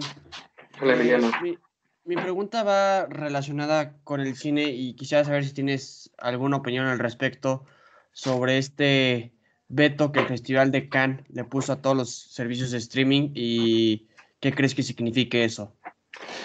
Bueno, eso lo, lo, abordo en, la tesis y es algo que uno de los libros que consulté, eh, que es el único libro que encontré en ese momento sobre Netflix, escrito en Francia, eh, aborda también, es para resumir esta eterna disputa entre lo nuevo y lo viejo, ¿no? Es el, el Festival de Cannes, que es esta institución eh, pues súper poderosa de la industria cinematográfica, que, que, ve cómo se tambalea o que posiblemente ve cómo se tambalea eh, su, su, reinado, por llamarlo de alguna forma, con la llegada de, de Netflix y de otras plataformas.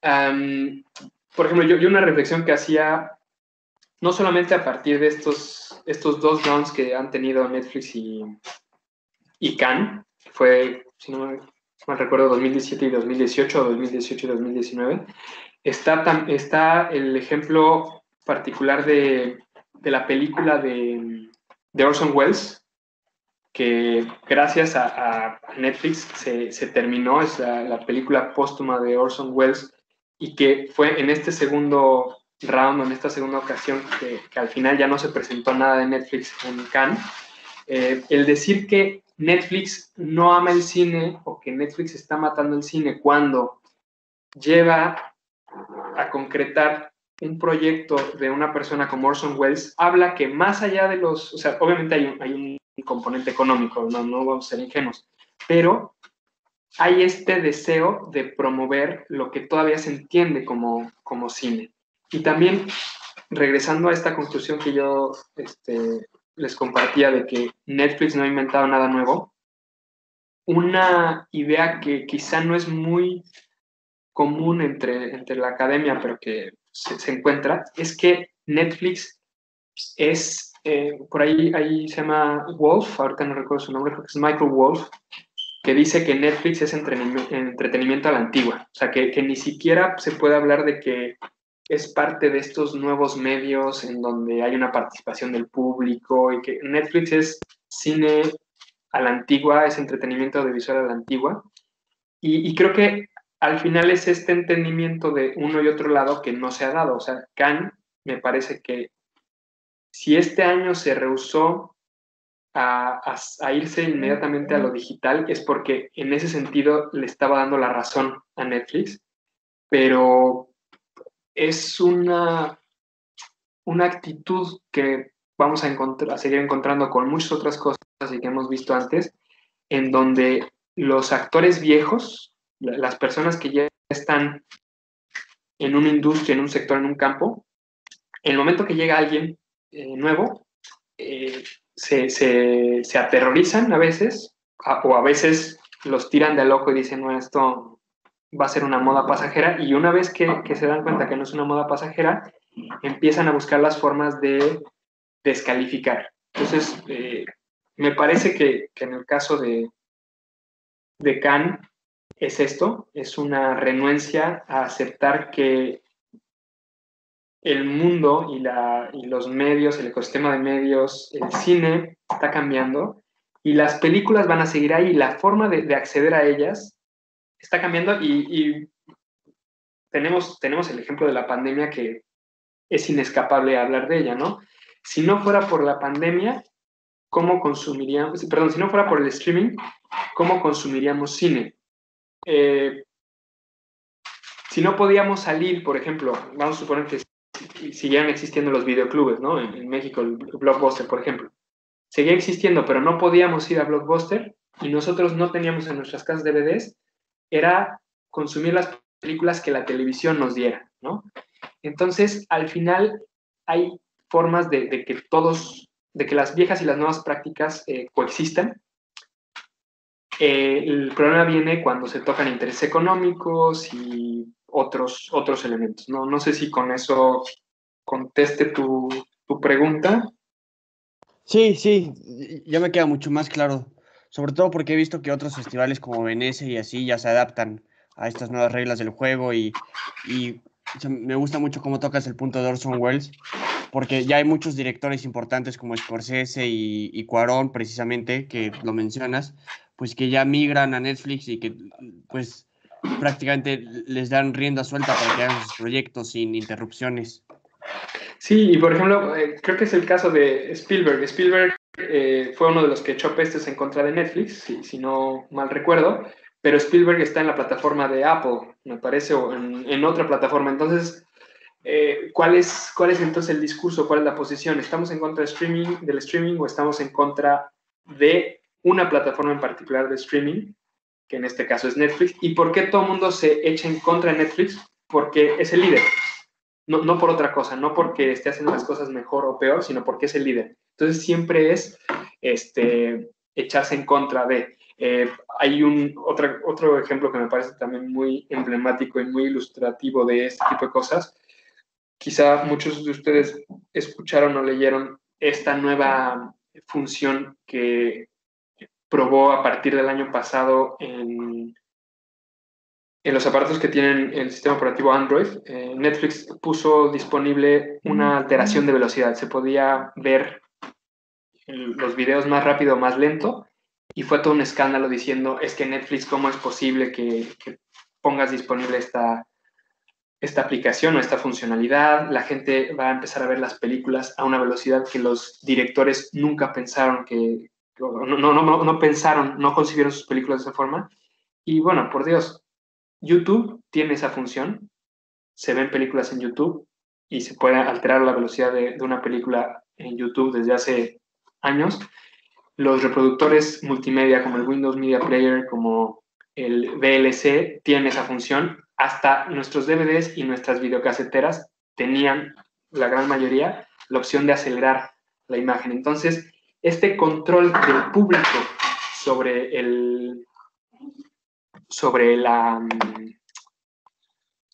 sobre el material se tiene desde hace mucho, pero cuando lo hace el líder, cuando lo hace alguien que, es mucho más público, empiezan a haber problemas y todo el mundo se echa en contra de ese, de ese gran líder. Creo que por ahí hay otra, hay dos preguntas más que están, dos personas más que tienen levantada la mano. Sí, eh, Diego Peralta, y puedes eh, darle clic al iconito que está a la derecha de tu micrófono para que dejes de compartir tu pantalla, Alonso. Ah, ok, sí. ¿Ya me escuchan? Sí. Ah, bueno, em, yo quisiera hacer este, una pregunta muy puntual. Em, yo soy estudiante de y bueno, a mí me interesa un poco la parte de si consideras a Netflix como una forma de salvar al cine mexicano. Ya ha habido algunas cintas que se han ido como tan perdón, perdón, Diego, perdón Diego, te interrumpo, pero es que en el momento que dejé de compartir la pantalla se me se, paralizó y apenas estoy escuchándote. Si pudieras empezar de nuevo, por favor. Claro. Ah, bueno, yo quisiera hacer una pregunta muy puntual de si consideras a Netflix como una forma de salvar al cine mexicano en estos tiempos de donde el gobierno de Andrés Manuel López Obrador ya no va a apoyar este con fideicomisos con el Fidecine y, y otras empresas del gobierno al cine mexicano. ¿Tú crees que Netflix sí sea una buena opción o crees que, que cómo, cómo va a reaccionar el cine mexicano, en pocas palabras, ante Netflix? Mira, el caso particular de México no lo, no lo he estudiado, o sea, en el momento que empecé a hacer la, investigación me volqué sobre Francia, obviamente tengo mi experiencia previa con México y seguí eh, buscando información sobre, sobre México, pero eh, de manera puntual reportes estadísticos de la industria, eh, en el caso de México no, no tengo. lo que pasa de manera general es que, bueno, es muy complejo y cada, cada caso es como muy puntual em, con lo que respecta a la relación de Netflix y las industrias locales. Eh, el caso, por ejemplo, del que habla mm, Ramón Lobato en el libro que les decía de Netflix Nations, de, India, em, Netflix llegó al mercado indio con, una, con un catálogo con prácticamente nada de, material eh, local, de material indio. Pero ¿por qué no tenía esto? Porque no había todavía como los, los nexos para, producirlo, no había empresas que le quisieran vender eh, series o películas, pero además porque el público de la India que tiene o tenía en el momento que Lobato hizo el estudio, eh, su suscripción de Netflix, no buscaba material indio, porque para ese tipo de público, que era una clase media, que no solamente tenía el dinero y que no solamente tenía la tarjeta de, crédito para inscribirse, eh, lo que buscaba ese tipo de público eran cosas extranjeras, cosas sofisticadas, cosas que en ese tipo de, clase social, en esa franja de, la India, eh, se consideraba como cosmopolita. Entonces, por eso Netflix en un principio no le entró a producir material original en India. Ahora ya, incluso en, sus catálogos en México seguramente tienen algunas series eh, hechas en India, pero ahí la relación del, público indio con Netflix no requería que, hubiera material eh, adicional, eh, material original. Y además, tiene, tenía la desventaja Netflix de que la industria de Bollywood, ¿no? La industria de cine como que ya funciona de manera independiente y tiene vida propia y era como complicado encontrar un punto de, acuerdo. El caso, el otro caso del que habla Lobato es Japón, en donde igual no le quisieron vender materiales a las empresas y ahí sí se, tuvo que ver obligado a eh, producir de, manera a lo loco eh, Netflix material original japonés, porque el público japonés sí es muy, es amante, el público japonés que consume Netflix es amante de su propia industria audiovisual. Entonces ahí tenía que alimentar al, japonés con historias locales. El caso de México yo no lo tengo muy claro, no sé si la gente que, tiene acceso a Netflix, que, que ve Netflix, prefiere historias locales o no. E, existe esta, esta idea de que en general las historias locales siempre van a ser más atractivas, pero eh, yo ahí también tengo, tengo mis dudas, porque de pronto mi, reflexión viene a partir de, la industria cinematográfica este, mexicana que tiene éxito en, en el extranjero en festivales, y que son historias muy mexicanas, son historias que sí regularmente caen en, estas, en estos tropos, en el estereotipo del México violento, del México, eh, del país en, vías de desarrollo que a los europeos y en los festivales europeos les encanta y que tienen mucho éxito fuera, pero cuando llegan a México no saben encontrar su público por una cuestión de mercadotecnia, por una cuestión de que el público mexicano ya no quiere ver ese tipo de historias, yo no lo sé. No sé, por ejemplo, cómo funcionó Narcos México. A mí me pareció, yo vi la primera temporada, me pareció una muy buena serie.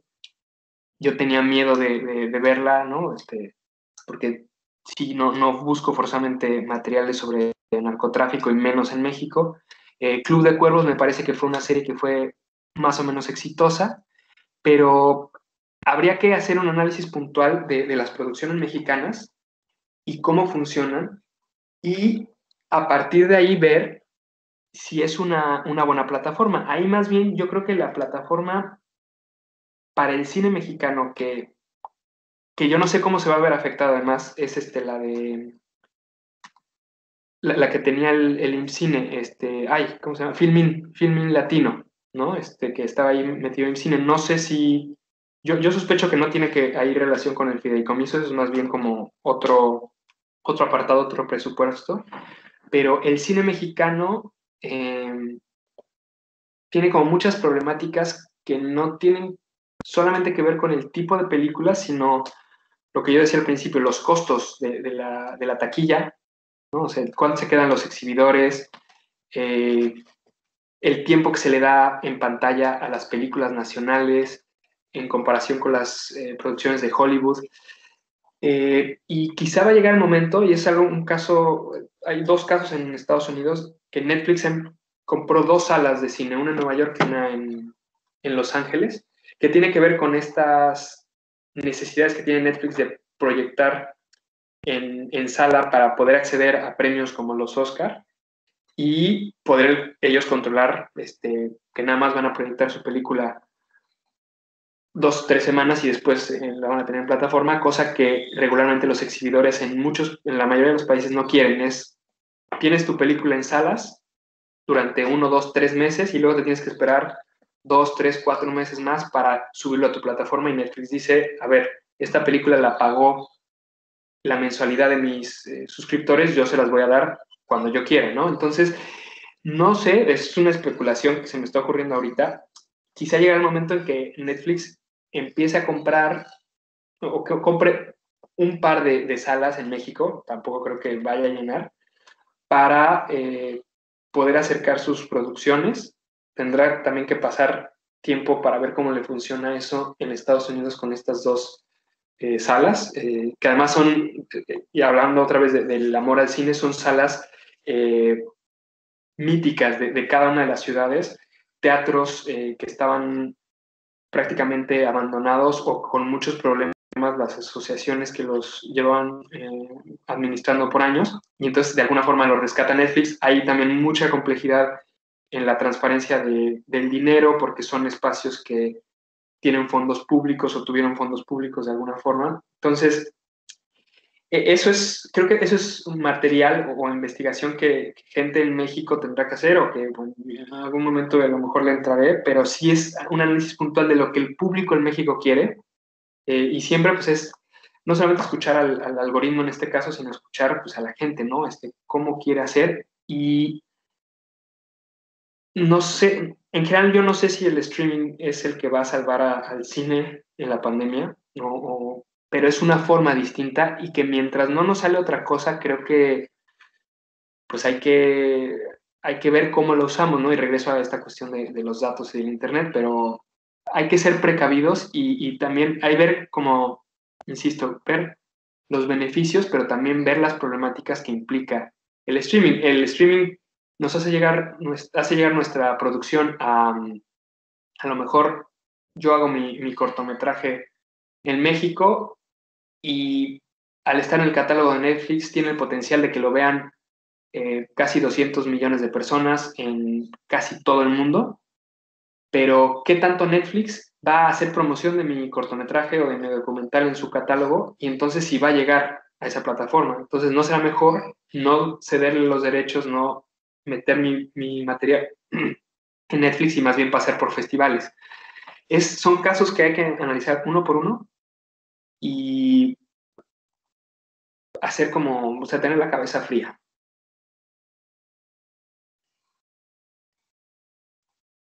O bueno, no sé si hay, bueno, hay veo otras dos preguntas. Sí.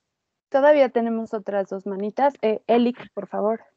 Sí, gracias. Alonso, muchas, muchas gracias por esta presentación. Creo que a todos nos deja pensando en muchas cosas y la próxima vez que encendamos la televisión para poner Netflix estaremos acordándonos de ti.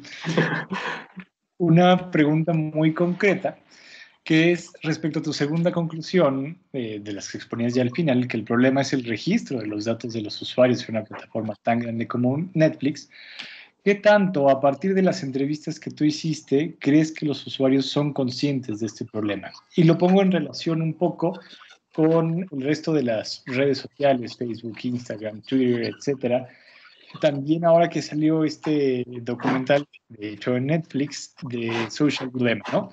Que al final creo que eran muchas cosas que sabíamos, sospechábamos, pero que causó revuelo precisamente por verlas de una manera tan cruda, ¿no? Entonces, quizá hay cosas que sabemos, pero las ignoramos muy conscientemente, puede ser, porque no les hacemos tanto caso, y otras que las aceptamos, sabemos que tienen un problema, pero ni modo en esta investigación de tu tesis, ¿qué tanto crees que realmente los usuarios de una plataforma como Netflix son conscientes de los problemas que tienen? Sí, gracias, Elic. Eh, sí, me, faltó hablar un poquito más de, esa um, conclusión, eh, que fue a partir de, sobre todo, la, tercera etapa del estudio cualitativo, que fue donde exploramos el, el vínculo con el algoritmo de recomendación de las nueve personas que terminaron el estudio, solamente una no sabía, no, tenía el nombre específico de algoritmo de recomendación, ¿no?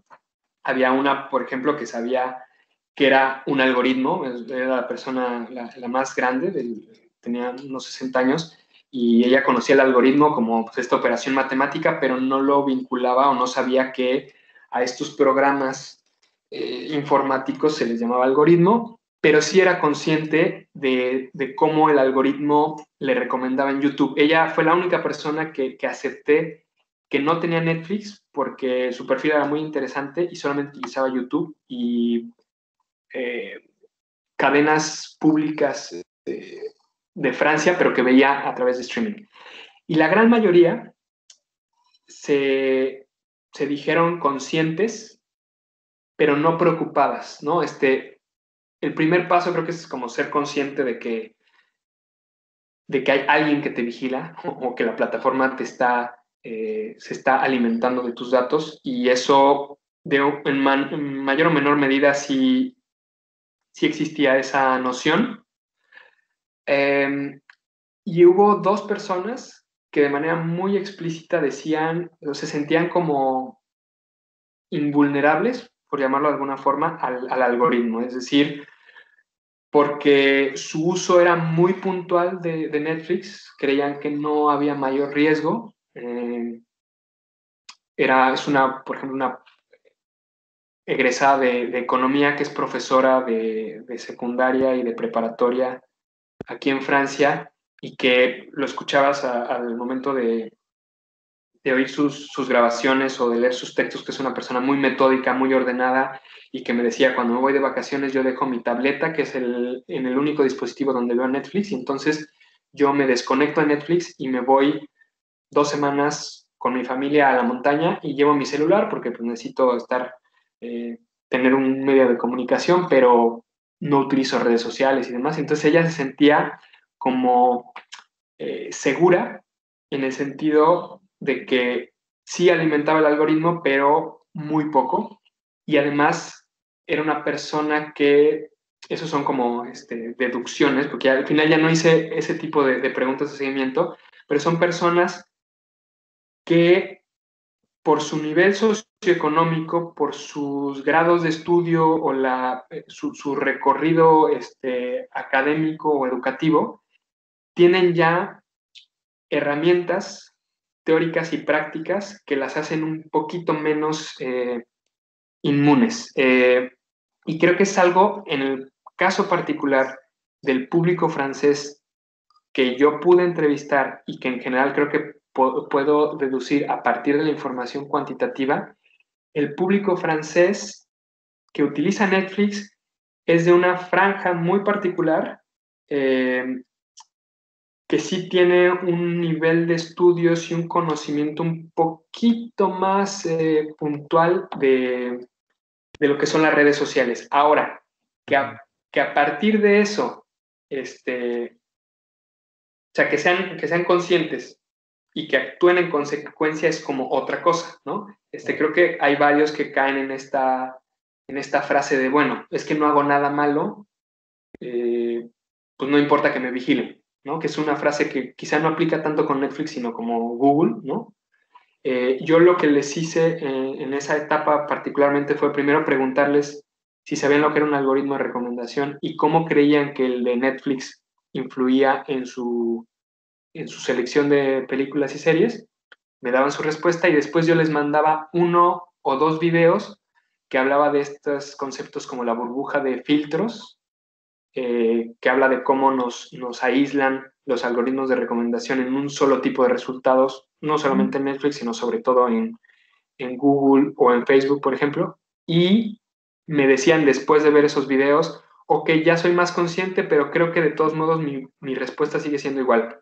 El algoritmo de Netflix no impacta tanto eh, mi consumo. La, la, chica que yo les platicaba que decía que era su culpa que, el algoritmo no le, no le recomendara la, las buenas películas, ella confiaba, por ejemplo, más en las recomendaciones que le hacían seres humanos, sus amigos.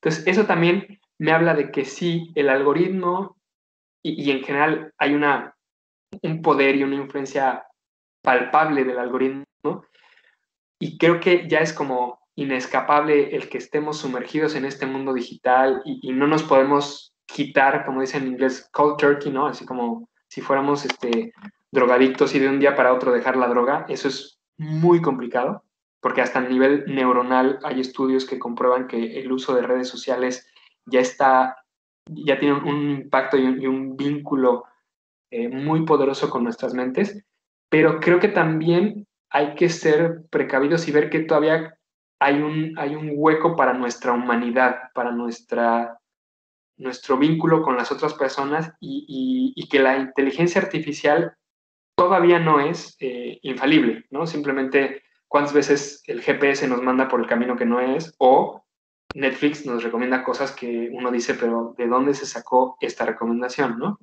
Entonces, no sé si respondo tu pregunta. Sí, sí, completamente. Gracias, Alonso. tenemos por ahí otra. Sí, última pregunta por cuestiones de tiempo. Eh, David Valencia, por favor. Gracias, Gaby. Gracias, Alonso. Este, bueno, quizás va a ser una como más compleja de contestar y creo que un poquito ya más abierta, pero me parece que sería bueno como para cerrar. Este, un artículo en la revista Wired sobre que la pandemia ha convertido lo que no era televisión en televisión esencial, ¿no? Y justamente hablaba sobre estos nuevos formatos de TikTok, los Reels de Instagram, el Instagram TV concretamente, eh, también existía pues también el Facebook Watch y todo esto, ¿no? Entonces justamente mi pregunta va como por ese sentido, quizás amerite una respuesta ahorita muy ambigua, pero a partir de, tu, investigación, ¿qué, a lo mejor no es la palabra, pero qué proyecciones intuyes acerca de la televisión que definitivamente no es lo que era hace 10 años, ni 20 y mucho menos hace 50, ¿no? Entonces, un poquito como para dónde ves que, se puede meter toda esta onda. Ok, pues mira, ahí creo que una, una pista importante la tenemos con este, ah, este sistema, se me fue, creo que se llama Cubic, no sé si algunos de ustedes lo, ubican, es una plataforma que salió poco antes de la cuarentena, bueno, a principio de año, y que era, se podía acceder a ella a través de, la computadora, pero era sobre todo para dispositivos móviles, y eran formatos eh, cortos de, 20 minutos, o sea, sus series originales eran de capítulos de 20 minutos, y eh, que utilizaba, que Ahí, no sé si Escolar ya ha escrito sobre ella, pero es como todo su tema de, las plataformas, de, cómo interactuamos con las plataformas y cómo eh, cada medio pues es, eh, tiene su lenguaje propio. Lo que hizo esta, esta plataforma, que no, no pegó, eh, es que uno podía escoger para algunas de sus series el ángulo, o sea, desde dónde veíamos esa escena. Es decir, si uno de los personajes estaba leyendo un texto en su, un mensaje de texto en su celular, nosotros podíamos optar por ver la expresión de la, de la actriz o del actor o cambiar y ver eh, lo que se veía en la, en la pantalla del, celular, em, con esta idea de que hacer más interactiva la, la, experiencia. Y el formato de 20 minutos, o bueno, formato corto, era porque ellos esperaban o hacían esta proyección de que se iba a consumir en los trayectos de, casa a escuela, casa a um, trabajo y demás, ¿no? En el transporte público, caminando, etc. Em, y llegó la pandemia y yo, y yo, yo escuché comentarios en este podcast que les decía de Netflixers, de los eh, que, que, hablan sobre Netflix y plataformas de streaming aquí en Francia. Los tres eh, locutores, uno de ellos creo que lo tuvo el mes gratis y después dijo no. Y, pero en parte lo adjudicaba a que como ya no se tenía que trasladar durante la cuarentena a ningún lugar, decía, no, no, me, no me llama la atención. Y además, no recuerdo cuánto, cuánto era la mensualidad, pero eran como 15 dólares, ¿no? Y en, euros al principio no se sabía cuánto iba a costar. Y era muy caro para un, un catálogo todavía muy, muy limitado y además creo que tenían programas de, deportes. Y hasta donde tengo entendido, el, fue pues un fracaso esta, eh, esta plataforma. Ahora, TikTok y todas estas creo que sí se pueden analizar desde, desde los estudios de plataforma, desde los estudios de audiovisuales, pero creo que ahí el audiovisual es un, elemento más, es, eh, yo, por ejemplo, a lo que sí tenía como la duda de, si, si, le tenía que entrar o cómo le tenía que entrar era a YouTube. Y particularmente en algún momento yo me di cuenta que YouTube me servía, y hubo personas que me platicaron sobre YouTube, pero como a mí me interesaba hacer el antes y el después de las series de televisión, y de las películas, aunque puedes ver películas en YouTube y puedes ver capítulos de series en YouTube, pero el elemento primordial de YouTube es el material generado por los youtubers, que más bien este, podría encontrar su antecedente en los ensayos de, Montesquieu, ¿no? En, el texto, eh, los videoensayos, que para mí es como la, forma más fabulosa que tiene YouTube. Eh, pues no viene forzosamente del audiovisual. Encuentran también una relación con el, con el reportaje, con el documental, pero, pero esta idea del de, youtuber hablando a la cámara, pues eh, tiene también su antecedente en el blog, en, el diario. Entonces yo me di cuenta que, y, bueno, y de hecho es una realidad, hay estudios y libros dedicados completamente a YouTube porque hay esa relación del youtuber y de esta idea que, seguramente ustedes conocen del prosumer o prosumidor, gente que consume y al mismo tiempo produce contenido, que, es lo que sucede eh, con los youtubers. Eh, esa es una característica que en Netflix, en Amazon Prime y en todas estas otras plataformas no tenemos. Y si yo me metía a analizar YouTube, era como una cosa distinta. Entonces yo creo que YouTube es como la plataforma en la que se va, la, que tenemos que observar. Eh, va a haber seguramente ejercicios como este de Cubic eh, que va a haber de nuevo, pero particularmente Facebook Live, eh, este, Snapchat, todas estas cosas de este, TikTok, etcétera, yo no lo veía como una una alternativa a la televisión, es finalmente otro tipo de, objeto, de experiencia que va a consumir nuestro tiempo, otra práctica cultural, y habrá que ver qué tanto le permitimos a todas estas prácticas y a todas estas este, experiencias eh, consumir la mayor parte de nuestro tiempo en detrimento de nuestro consumo de, televisión por cualquier medio o de películas por cualquier medio. Entonces, yo, yo diría que YouTube es como la, la, plataforma a la que observar y además que es no solamente el, monstruo de, del, también del streaming, sino que es parte de, de este mega monstruo que es eh, Google, que pues por ahí hay dinero inyectándose y datos que la hacen súper compleja como, como plataforma y como experiencia. No sé si fue lo suficientemente ambigua la respuesta. Sí, gracias.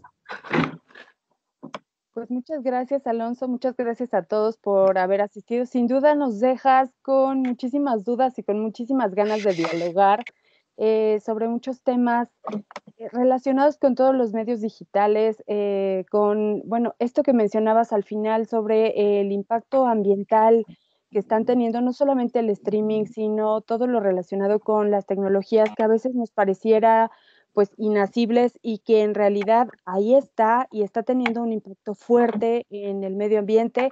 Eh, todo lo relacionado con la metodología que nos está también eh, dando nuevas pistas para estudiar a los medios y para estudiar también a la sociedad y también la relación de estos consumos culturales y mediáticos y cómo de alguna manera revela eh, a las sociedades ¿no? en las que estamos inmersos. Creo que nos dejas con muchas ganas de seguir dialogando y eh, les agradezco mucho a todos. te agradezco muy especialmente, Alonso, por haber compartido eh, todas estas perspectivas sobre tu trabajo y eh, pues seguiremos eh, atentos a lo que nos quieras compartir, Alonso. Gracias, Gaby. solamente si me permites compartir una última vez el escritorio con una última imagen para que si quieren darle copia de pantalla, viene este, mi, correo. Tengo muchos materiales que ya no me dio tiempo de compartirles, pero la presentación completa para que tengan ahí este, pues, las notas y la bibliografía que les había dicho al principio, eh, la pueden, se las puedo mandar. E incluso si, si, leen francés o si quieren hacer este copy-paste sobre Google Translator para traducirla, también se las puedo compartir. Entonces, ahí va. A ver si estamos en el proceso. Dime si se ve, Gaby. Todavía no. Ahí va. Ahí está.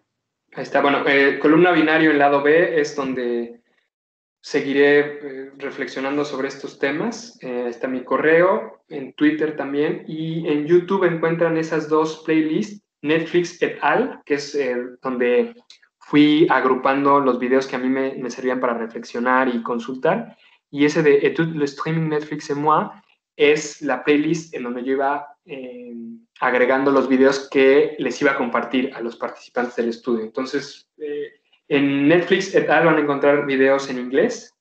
En el de Etude es 100% eh, en francés, si no me equivoco, pero bueno, también les puede interesar.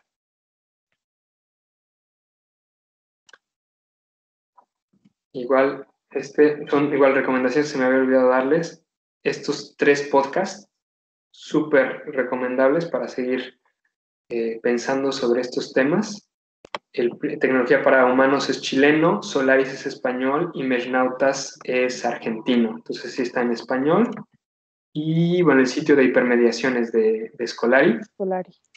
Y el sitio de Martin Hilbert, que es un alemán que trabaja en la Universidad de California, que también tiene eh, una página muy interesante y tiene investigaciones súper pertinentes para todo esto. Pues ahí está. Así, muchas gracias Gaby, muchas gracias a todos los que se conectaron, los que participaron. Gracias, también eh, te dejan dos mensajes en el chat. Eh, Rafa Hernández García Cano, muchas gracias Alonso y felicidades. Y David Valencia, gracias por los recursos y por los datos de contacto. Eh, pues muchas gracias a todos. Y este también estará disponible esta esta sesión por si alguien pues quiere compartirla con quien crea que le interese, pues también pronto estará disponible, eh, pues solo tiene que pedirla. Muchas gracias y pues pasen todos una linda tarde. Ya.